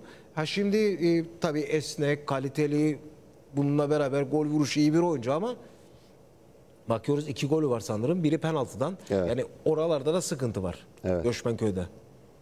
Normalde olmaması lazım o Evet. sıkıntının. Yani Devam. Mehmet Özaralp. Ligin en iyi kalecilerinden biri. Yani bugün yediği ikinci gol. Oraya çıkmasının hiçbir amacı yok. Atçese iyi bir oyuncu mu? Evet iyi bir oyuncu. Ama Atçese'nin en kötü özelliğine bir forvette olması gereken en önemli özelliklerden biri bitiricilik. Bitiricilik konusunda ve şut konusunda Atçese şu an beklenen seviyede değil. Ha takım için yaptıkları çok farklı şeyler var. O ayrı. Bence çok daha iyi bir oyuncu. Ha, bu arada gelişmeye açık. ilk geldiği güne göre daha iyi ama. Tabii tabii tabii. Ee, bağlantı oyuncusu olması ve o alanı boşaltması. Yani burada aldığım notta Atcese geriye doğru geliyor Evet. ve stoperi çekiyor. Evet. Alan açıyor. alanı açıyor. Mehmet Altın da oraya zaten e, soğuk soğukkanlı bir katil gibi aslında bu tip işlerde çok sever. Şöyle bir durumu var. E, ben Evren Hoca'nınla konuştum ama bunu paylaşmadım. Yanlışım varsa da beni düzeldir. Şimdi Cedric Kore, Mehmet Erol ve Mehmet Altın. Bu oyuncular bir üçgen gibi düşünelim. Tamam. Evet. En geride Cedric, Evet, Mehmet önde. Erol Evet. solda ve biraz önünde de Mehmet Altın. Bu oyuncu üçü birbirinden bağlantılı. Evet. Bu, bu haftaya kadar böyle oynadılar. Evet. Evet. Atcese biraz geriye geldiğinde Mehmet Altın ikinci forvetten yalancı 9'a geçiyor aslında. Sahte forvet gibi oluyor. Ciddi bir kafa karışıklığı yaratmakta. Rakip savunmayı Evet. üzerinde. Bununla beraber solda Mert Güçlücan, sağda Berke. Mert Güçlücan e, Berk. Berk Büyükkal. e, Sağda. Berk Büyükal. Özür Evet, dilerim. hücumda, Özür evet. dilerim. E, evet. Bu arada Berk de oyuna girdi ikinci yarı. O da onu da beğendik ha. Evet, Yani evet. gidişat çok iyi. Evet. Mert Güçlücan tabii ki e, hem sprinter bir oyuncu. Bununla beraber e, birebir de çok etkili bir isim. Orayı yalnız bırakma ihtimaliniz yok. Sağda Quentin başladığında ve Beck de hafif öne doğru geldiğinde orada sıkıntı yaşadı. Göçmenköy ama Kadir'in de golde çok büyük hatası var ilk golde. Dengesini kaybetti düştü. Mert de bunu affetmedi. Evet. Sağda Berke daha çok bir bö- e, nasıl söyleyeyim oyun kurucu içe drive eden bir e, sağ açık gibi. Evet. Evet. Öyle İçe oynuyor. kat eden bir oyuncu Berk, gibi. Evet. Daha çok şutör yani driplingci değil daha çok şutör daha çok kurucu gibi orada. Evet. Evet. Yani çok komple bir takım İsmail Tırlık ve Olcay ikilisine bayıldım. Savunma onu Bayıldım. söyleyecektim. Sen söyledin. Yani e, solda Kadir Olur ters ayakta oynuyor orada. Adamın maç boyunca yediği çalım sayısı gerçekten düşük. Geçtiğimiz sezona göre daha iyi. Adapte olmuş o da. Buna Mehmet Eroğlu'nun da katkısı Tabii var. ki muhakkak illaki. muhakkak var. Var. Ee, Yani- ve en önemli oyuncuyu sona bıraktım. Galeci Türkan. Evet. Neden Türkan? Takımın marka değerini adam yukarıya çekiyor. Hafta içi bir Facebook açıklaması yapıyor. Yüzlerce like geliyor. Dikkat çekiyor. Maç sonu röportaj yapıyor. Gençler diyor. Bu adam zaten yapacağını yaptı. Ligin en iyi galecilerinden biri. Hem saha içi lideri, hem kaptanı, hem antrenöre de muhtemelen teknik direktöre yardımcı oluyor her konuda. Çünkü böyle oyuncuları istersiniz. Ve bu takımın organize olmasında bence en önemli pay sahibi kaleci Türkan. Evet. Muhakkak tabii ki. Kesin ve netim ben bu konuda. Yani her şey sahadaki %100 performanstan değil. Bu işin bir arka tarafı organizasyonu var. Evet. Kutluyorum. Ee, Göçmenköy tarafının da lige e, beklenilenden kötü başladığını düşünüyorum. Ancak toparlayacak bir kadro var. Nazım Hoca kaliteli bir hoca. Muhtemelen e, o şimdiden planlarını yapmaya başlamıştır. E, bu oluşacak tabloyu da düzelecek diye düşünüyorum. E, Yonpaş Dumlupınar yarışın içerisinde kalırsa keyifli bir mücadele izleyeceğiz. Kalır mı? Sorayım. Kalır mı? Yani Neden bu kalmasın? bu senin gördüğün bu tablo. Kalır. e, Ben birinci haftadan beri aynı şeyi söylerim. Bu takımdan ümitliyim. E, belirli bir noktaya kadar götürecektir. 12 gol kaydetmişler. Kalelerinde 3 gol görmüşler. En az gol gören takım Miracle Karşıyaka ile birlikte. Evet. Şu an itibarıyla. Miracle Karşıyaka'nın yarım Evet, karşılaşması Miracle var. Karşıyaka biraz karakter olarak daha savunmacı bir takım. Evet, Ama evet. e, her ikisini de yapabiliyor. İkinci bölgeye çok iyi oturuyor. Pozisyon hemen hemen net pozisyon vermedi ilk yarıda. Bu önemli. İkinci yarıda bazı pozisyonları var. E, Göçmenköy takımının. İzleyip göreceğiz. Evet. Çok teşekkür ediyorum. Hemen geçelim. Ee, bak- Mesarya'da hakem hataları gene bizi bekler. Yani bayağı da Evet. tartışmamız var. İzleyeceğiz. Tamamdır, Ee, tamamdır. hazırmış Mesarya Lefke karşılaşması. Hemen ekranlara gelsin. Sonrasında yorumlarla buradayız. 5. hafta karşılaşması Paşaköy Hasan 16 stadı Mesarya Lefke'yi konuk ediyor. Evren Karademir karşılaşmanın hakemi Hakan Gök Halil Atlar yardımcıları Kerem Erhan 4. hakem. Karşılaşma öncesinde seremoni yapılıyor. İki kaptan Yakup ve Mustafa Yaşin Ses. Top ve taraf seçimi karşılaşma öncesinde ilk devreden görüntülerimiz Mesarya başlıyor. Yusuf savunmada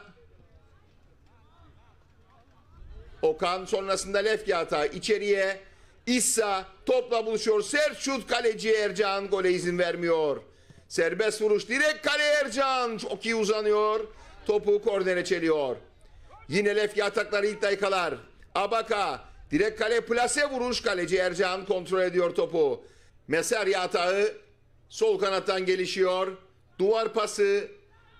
Ceza alana gönderilen top. Kafa vuruşu son anda Lukman ama sonuç gelmiyor.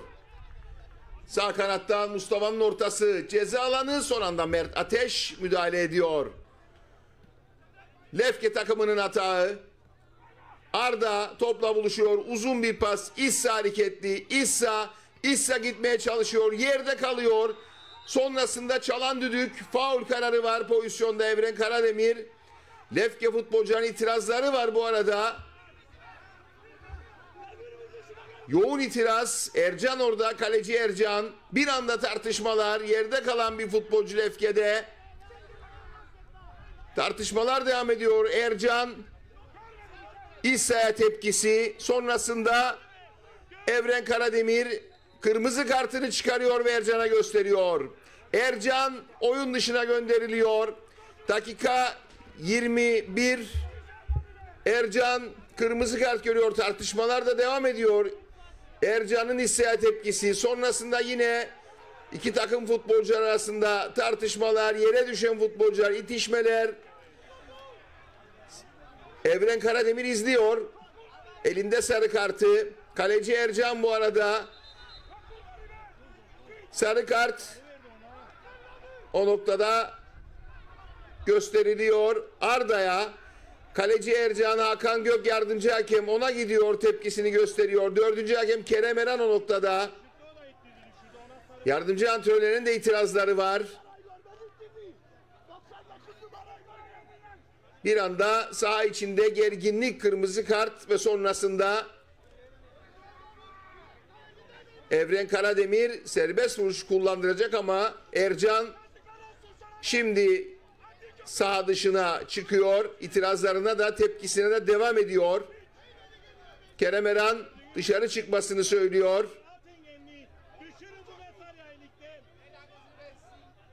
Saha içerisinde gerginlikler bu arada Evren Karademir Kaan'ı yanına çağırıyor. Sarı kart ona da Kaan ve Arda tartışmalar sonrasında sarı kart görüyorlar. Mesere futbolcunun tepkisi var ve tribünler bir anda gerginlik iki takım taraftarlar arasında polisler araya giriyor ve yedek kaleci Hasan oyuna giriyor Demiriye Hasan ve sonrasında serbest vuruş Hasan gole izin vermiyor. Henüz oyuna yeni girmiş Hasan Ahmet Can'ın yerine ama kurtarış var. Sonrasında boşta kalan top vuruş. Top yükseklik kazanıyor Lukman'dan. Sonrasında seken top yine Hasan uzanıyor. Kontrol ediyor ama yapılan hareketle faul. Yine Lefki hatağı. Abaka ceza alan içerisi. Orta vuruş İssa'dan top ağlardı ama kalkan bayrak var. Hakan Gök'ün kalkan bayrağı offside kararı pozisyonda. Yine tartışmalar, itirazlar. Yardımcı antrenör sarı kart görüyor bu pozisyonda. Serbest vuruş pas yaparak kullanıyorlar. İçeriye orta kafa isabetsiz top dışarıda. Meserya hatağı. Topuk pası Mustafa Yaşin sesten. Abdullah içeriye ortası ön direk. Okan yerde kalıyor. İrfan'ın orada müdahalesi. Penaltı beklentisi ama oyun devam ediyor. Geriye doğru pas. Atak devam ediyor Mesarya'da ama bu kez de yönetici Mesarya'da kırmızı kart görüyor itirazlar sonrasında. Bir sarı kartta Serkan Önete teknik direktör Mesarya'da ardarda arda kartlar çıkıyor karşılaşmada. Juan Felipe yerde kalıyor. Faul o noktada sarı kart çıkıyor. Berk sarı kart gören isim. Sonrasında kaldırıyor Juan Felipe'yi. Juan Felipe ortası ceza alanı. Boşta kalan top vuruş top üstten dışarıda. Okan yakın pozisyondu. Sonrasında Lukman ceza alan içerisi. Yerden vuruş. İrfan seken top Mustafa boşta kalıyor. Gol pozisyonu. Penaltı beklentisi ama sırta vurdu diyor. Oyun devam ediyor. Okan zorluyor pozisyonu. Juan Felipe'nin vuruşu top üstten dışarıda. İlk devre sona eriyor. Gol yok. Mesela sahada 10 kişi ikinci devreden görüntülerimiz. Lefke başlıyor. Oyunda değişiklikler de var. Köşe vuruş kullanılıyor. Kafa top ağlarda gol. Okan topu ağlara gönderiyor. Boşta kalıyor vuruşu savunmanın müdahalesi. Kaleci uzanıyor ama top ağlara gidiyor. Okan'ın golü 1-0 önde. Dakika 51. Meserya önde. Vuruş top üstten dışarıda. Meserya sahada 10 kişi 1-0 önde. Ceza alanı. Kaleci Hasan bir kez daha Hasan gole izin vermiyor. Arda'da kurtarışlar Hasan'dan. Arda yerde kalıyor. Avantaj. Abaka sıyrılıyor. Şut pozisyonu. Vuruş top üstten dışarıda. Tempolu güzel bir karşılaşma. Lukman ceza alan içerisi. Boşta kalan top vuruş İrfan. Harika bir kurtarış İrfan'dan. Köşe vuruşu yine İrfan. Uçuyor önlüyor. Abaka içeriye. Yerde kalan futbolcu var Yusuf. O noktada müdahale Mehmet Ali'den kırmızı kart beklentisi var ama sarı çıkıyor. Dirsek vurdu diyor futbolcular. Mesela futbolcular itirazları var. Yardımcı hakeme de tepkiler var ama Evren Karademir sarı kart gösteriyor bu noktada Mehmet Ali'ye. Ardarda isabetli paslar yerden vuruş kaleci Hasan kontrol ediyor İhsan'ın vuruşunda. Lukman pozisyonu zorluyor. Sonrasında Juan Felipe. Juan Felipe içeriye ortası. Kaleye son anda İrfan. Üstten topu koordine çeliyor. Köşe vuruşu. Kafa. Boşta kalan top. Döndüremiyor o noktada Yusuf. Kaan gönderiyor penaltı noktası üzeri. İsa boşta kalan top. Arda vuruyor top yandan dışarıda. Serbest vuruş ön direk. Çağlar topa gelişine vuruyor kafayla. Sonrasında Mustafa savunma önlüyor. Lefke yükleniyor beraberlik için. Şimdi Abaka. Abaka içeriye pası. Arda. Arda'da paslaşmalar. Sonrasında uzak mesafe vuruş top üstten dışarıya gidiyor. Berk'in vuruşunda. Berk Çakır oyundaydı. Şimdi Juan Felipe. Sıyrılıyor rakiplerinden bir çalım daha. Juan Felipe arda arda çalımlar. Topu saklıyor. İkili mücadele Arda'yla. Sonrasında Juan Felipe dönmeye çalışıyor. Yerde kalıyor yapılan hareket. Faul. Pozisyonda Arda da sakatlanıyor.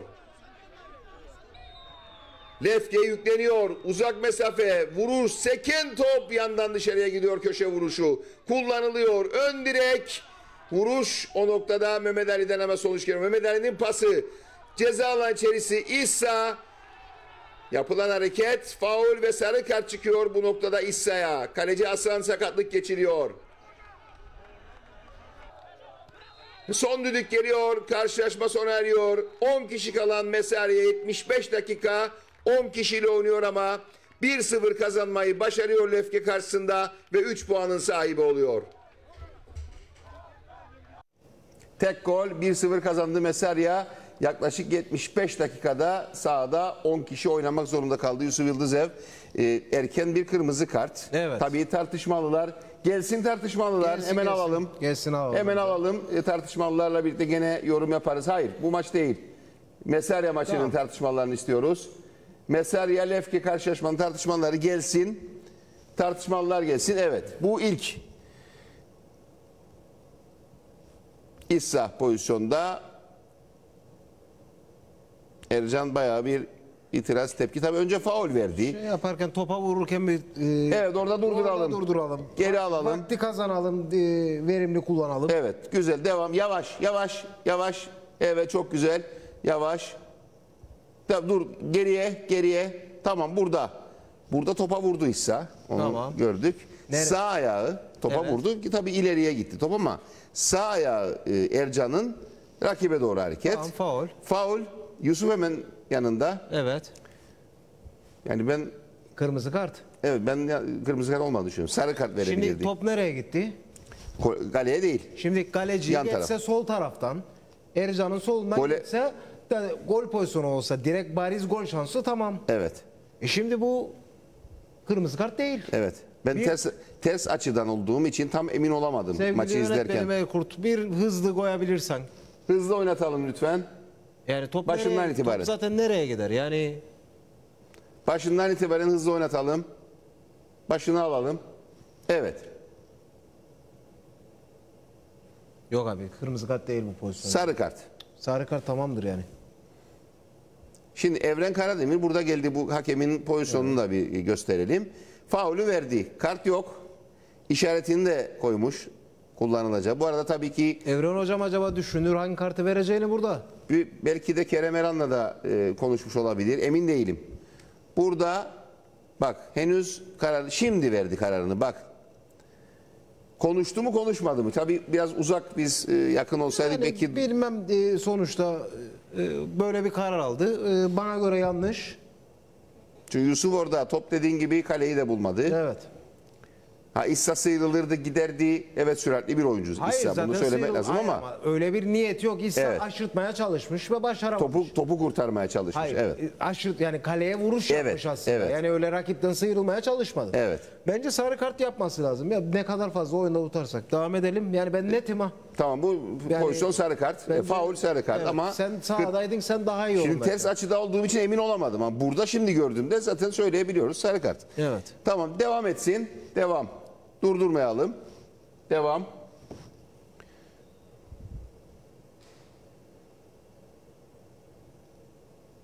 Bir sonraki pozisyon orta bir sarı kartlar vesaire onu zaten izledik. Tamamdır. Burada bir penaltı beklentisi var. Evet yavaş oynatalım bunu. Tekrar baştan gelsin. Baştan oynatalım. Baştan oynatalım. Başından arkadaşlar. Alın başına. Evet. Devam. Devam.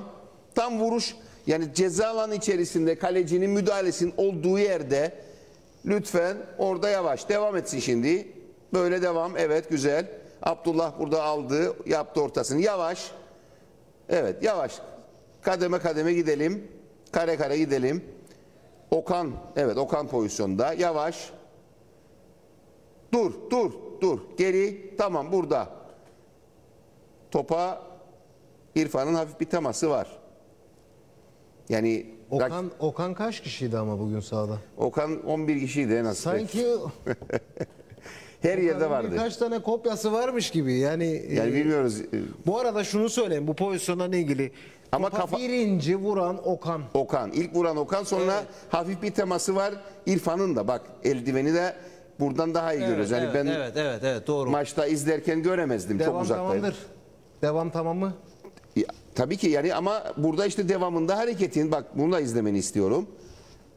Yani topa teması var İrfan'ın. Tamamen de Evet. rakibe değil. Bak topa Tamam. gitmiş. Bence değil. Şimdi buradan izlediğimde değil. Sahada izlerken penaltı gibi geldi bana ama bu devamındaki hareketi acaba yani faullük mü? Şimdi burada da devam etsin. Ee, Evren Karademir düdüğü ağzına götürdü. Bak düdük ağzında sonra devam dedi. Evren Hoca bayağı bir kararsızlık yaşamış. Bu Yani kararsızlık Ee, Şimdi o da bir, bir an beni ikilemde bıraktı. Yani o şu Evren Karademir'i gördüm ben. Düdüğü ağzına götürdü penaltı mı veriyor diye. Belki de doğrudur karar diye düşündüm ama tabi burada İrfan'ın o anlık teması yakın planda gördüğümüzde geri gelsin bir daha görelim orayı. İrfan'ın temasını bir daha görelim. Şimdi devamında tamam Okan'a vurmuş yani belli görülüyor ama burada bir yani hafif bir çünkü top biraz da yön değiştirdi gibi Yusuf Yıldızev. yani bu konuyla ilgili de e, Yani ben de ikilemde, geliyor. ikilemde kaldık açıkçası.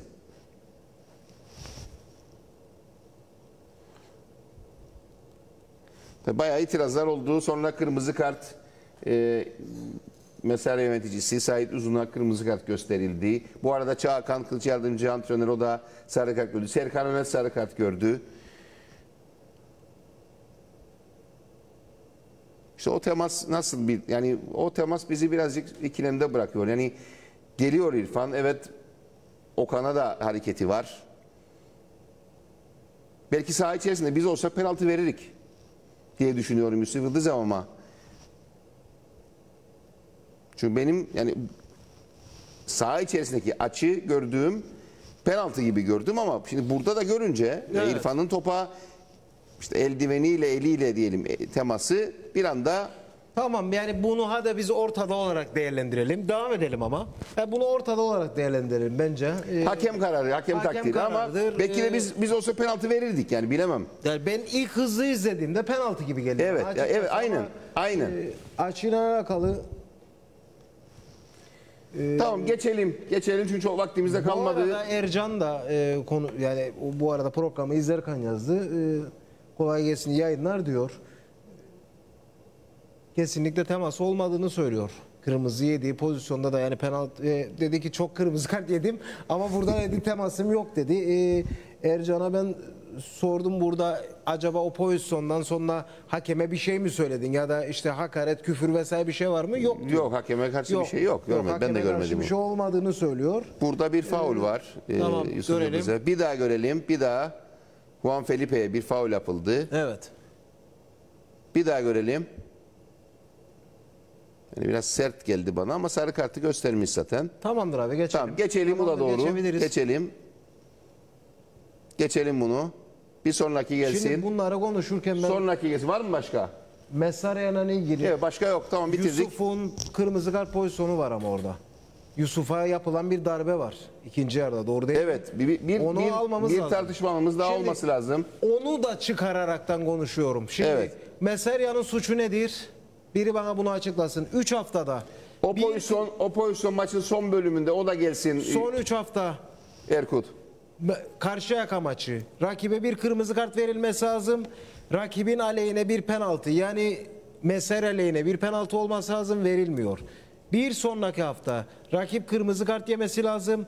Attıkları gol gol offside veriliyor. Bu hafta penaltı ya da kırmızı kartta geçiyorum. Onunla ilgili şu an vakit yok. Bir kırmızı kart. Burada gene hatalı. 3 haftada en az 5 ya da 6 tane karar Meser'e aleyhine hatalı. Neden? Evet geçen hafta da offside Neden? olmayan bir pozisyona offside verildi ve gol. Yani bu insanlar burada bu köyün içinde tamam özveriyle çalışırlar, bir şeyler kurmaya çalışırlar. Yenerler, yenilirler. Zaten süper şampiyonla oynayacak durumda değiller ya. Ama bir emek var karşıda. Buna da saygı duymak gerekiyor. Evet. Ben öyle düşünüyorum yani. Mesere'yle ilgili bir sıkıntı mı var ya da hep mi bunlar üst üste denk geldi? Yani bugün Serkan Özel hocam bayağı bir isyan etti Şimdi resmen. e, bu adamlar 3 3 maçtır bunu şimdi bu takımın lideri bu takımın en önemli oyuncularından biri kriz anlarını Bu pozisyon evet tamam bu pozisyon. Evet verelim bu pozisyonu yavaş yavaş oynatalım. Arka ekrana da verebilirsek Erkut Mansur dev ekranda da olsa. Evet buradan görelim. Geçti pozisyon sanıyorum. Tamam geriye gelirsek. Yani Geriye geriye. Geriye bu kadar alalım. sıkıntının içinde bütün krizleri çözecek isim sahada Ercan. Çok önemli bir tecrübe şampiyonlukları olan bu işi bilen bu adam şimdi bu hafta yok. Evet. Hatta hafta belki- yok. Peki iki hafta olmayacak. Paris yani gol şansında muhtemelen bir hafta yok. Evet. Ama e, yani bu tip bir takımı ki A2 galecisi galeye geçmek Hasan'ı birazdan konuşacağız onu da. Çok kritik kurtarışları var. Evet devam. Yavaş. Hani yavaş. vallahi tartışmalı pozisyonu Dur, dur, dur, dur. Evet. Abi net bence e, burada Mehmet Ali'nin yaptığı hareket bana göre dirsekle Yusuf'a bir darp var.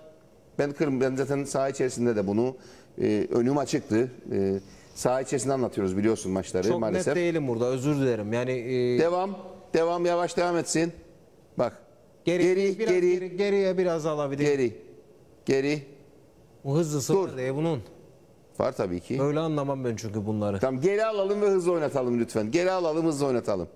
Evet yani ben e, kırmızı demek kart- istediğim olay bu aslında. Yani e, burada mesela ilgili üst Tamam, üste hızlı gelen- oynatalım, hızlı, Üst hızlı. üste gelen bazı Hızlı. hatalar var. Evet.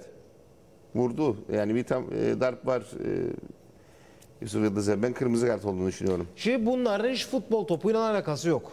Bu pozisyonlar. Evet. Hiçbirinin alakası yok yani. Geçen haftaki de bu da. Ha bunun şiddeti öyleydi, şiddeti böyleydi. Adamın burnunun kırılması gerekmiyor bazı kararları vermek için. Evet. Yani burada bu kararın verilmesi lazım. Kırmızı.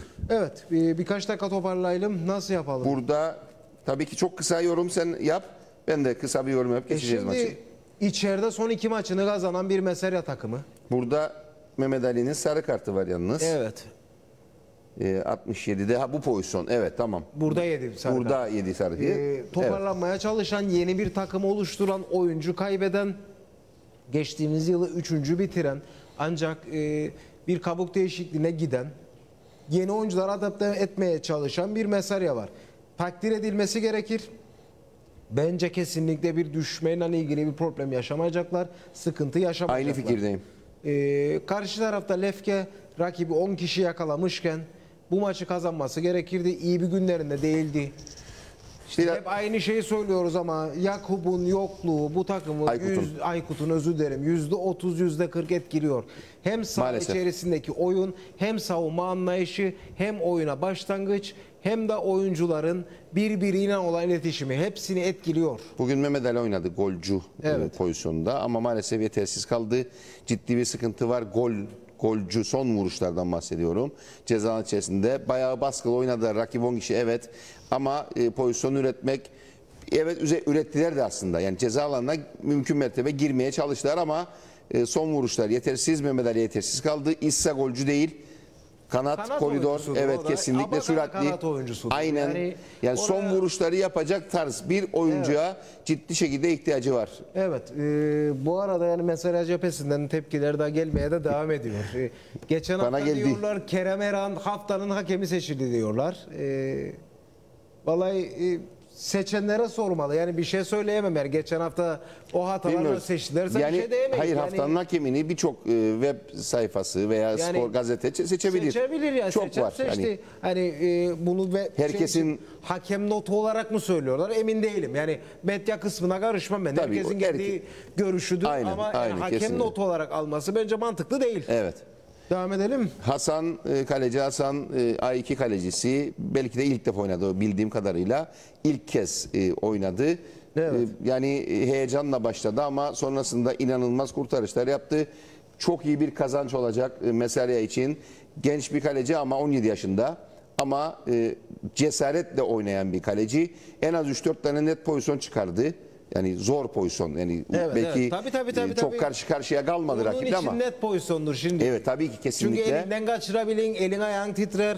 Iker Casillas da 17 yaşında geçti. 17 yaşında ve Geçti dünya gene, dünya yıldızı oldu. Yani dünya şampiyonluğu yaşadı. Bir şans gelir sana kullanın. Evet.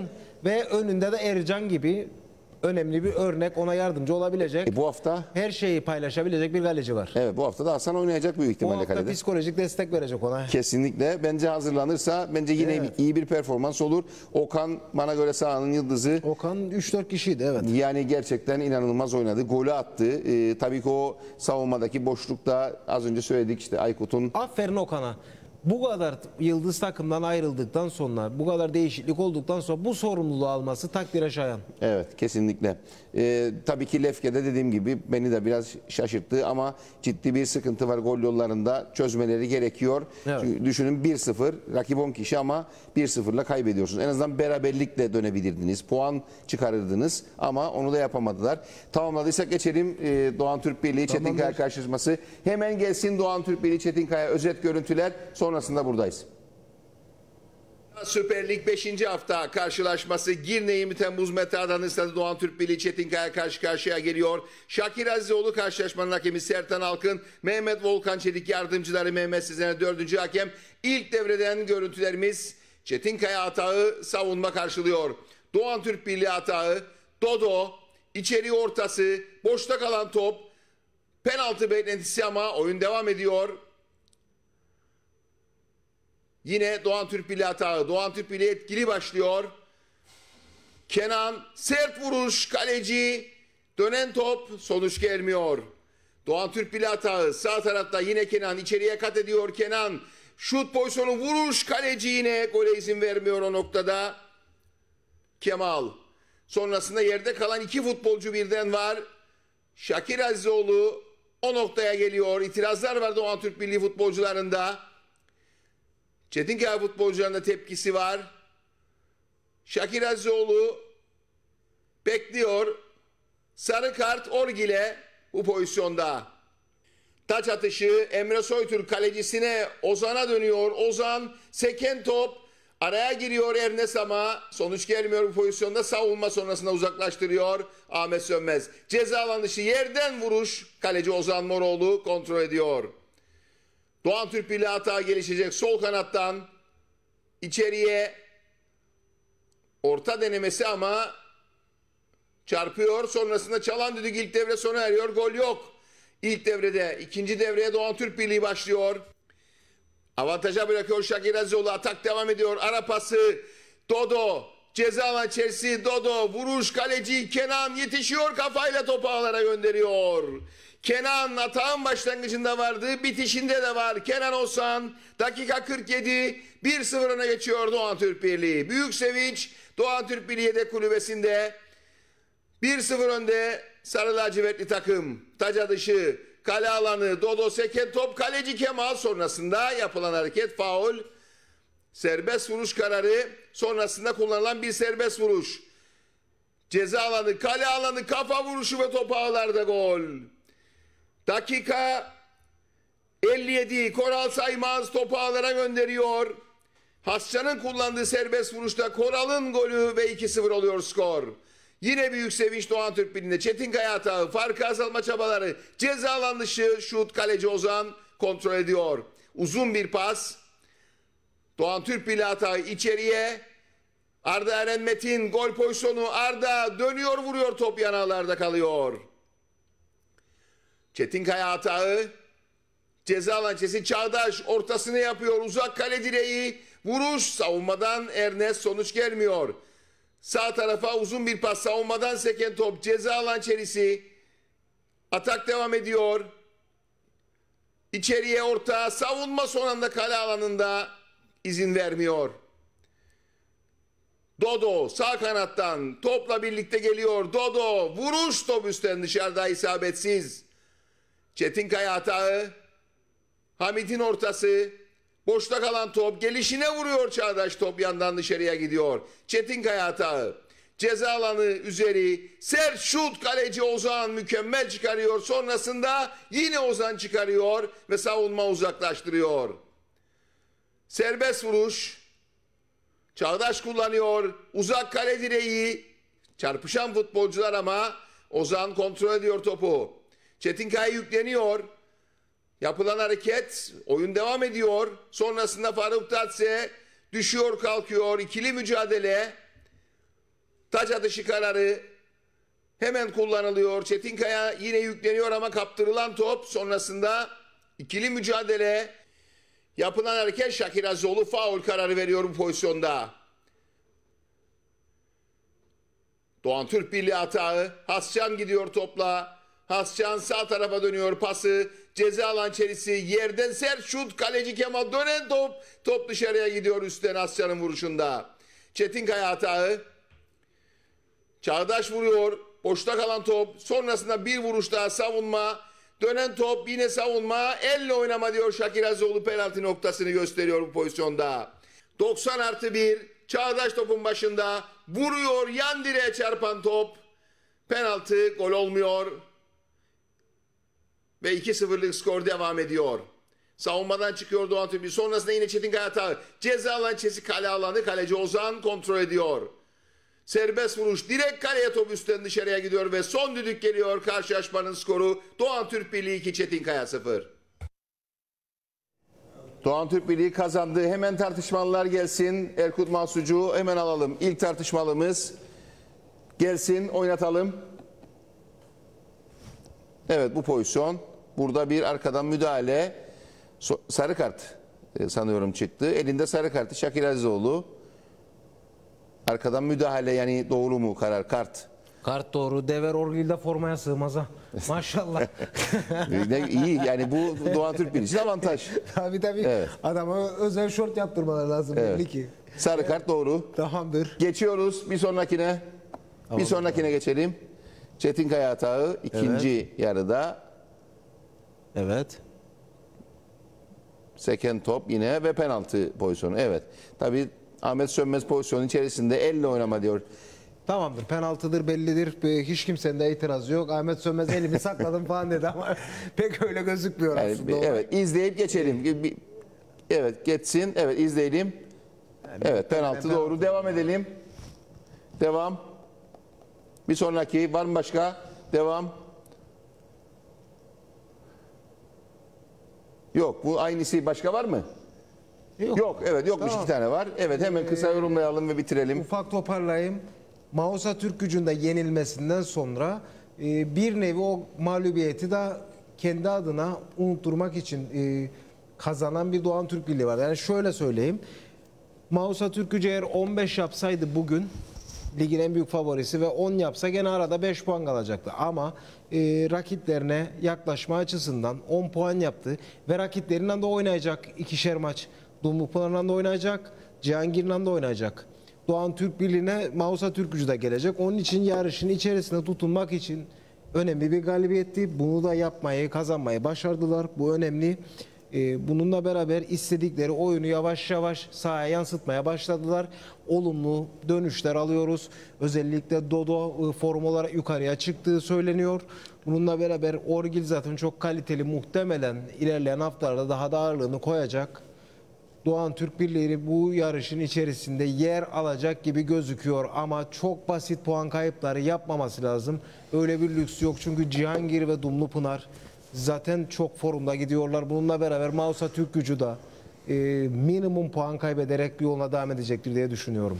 Evet e, vaktimizi tamamladık. E, Yusuf Yıldızev sana yarınki Lefkoşa Maratonu'nda başarılar ve güzel bir tabii ki maraton etkinlik olsun. Çok teşekkür ediyorum değerli yorumların için. VTR'de Ali Bozkurt, KJ'de Vasfi Kuli, resim seçici Buket Kurt, Ses'te İrfan Aktunç, e, kamerada Hüseyin Deney, montajdaki arkadaşlarım Sülün ve Bora'ya da çok teşekkür ediyorum. Bugün sahalarda görev yapan arkadaşlar hepsine çok teşekkür ediyorum. Ve değerli yönetmenim Erkut Mansucu çok teşekkürler yayında yapımda emeği geçen tüm arkadaşlarım adına sağlık ve spor dolu günler diliyorum. Hoşçakalın.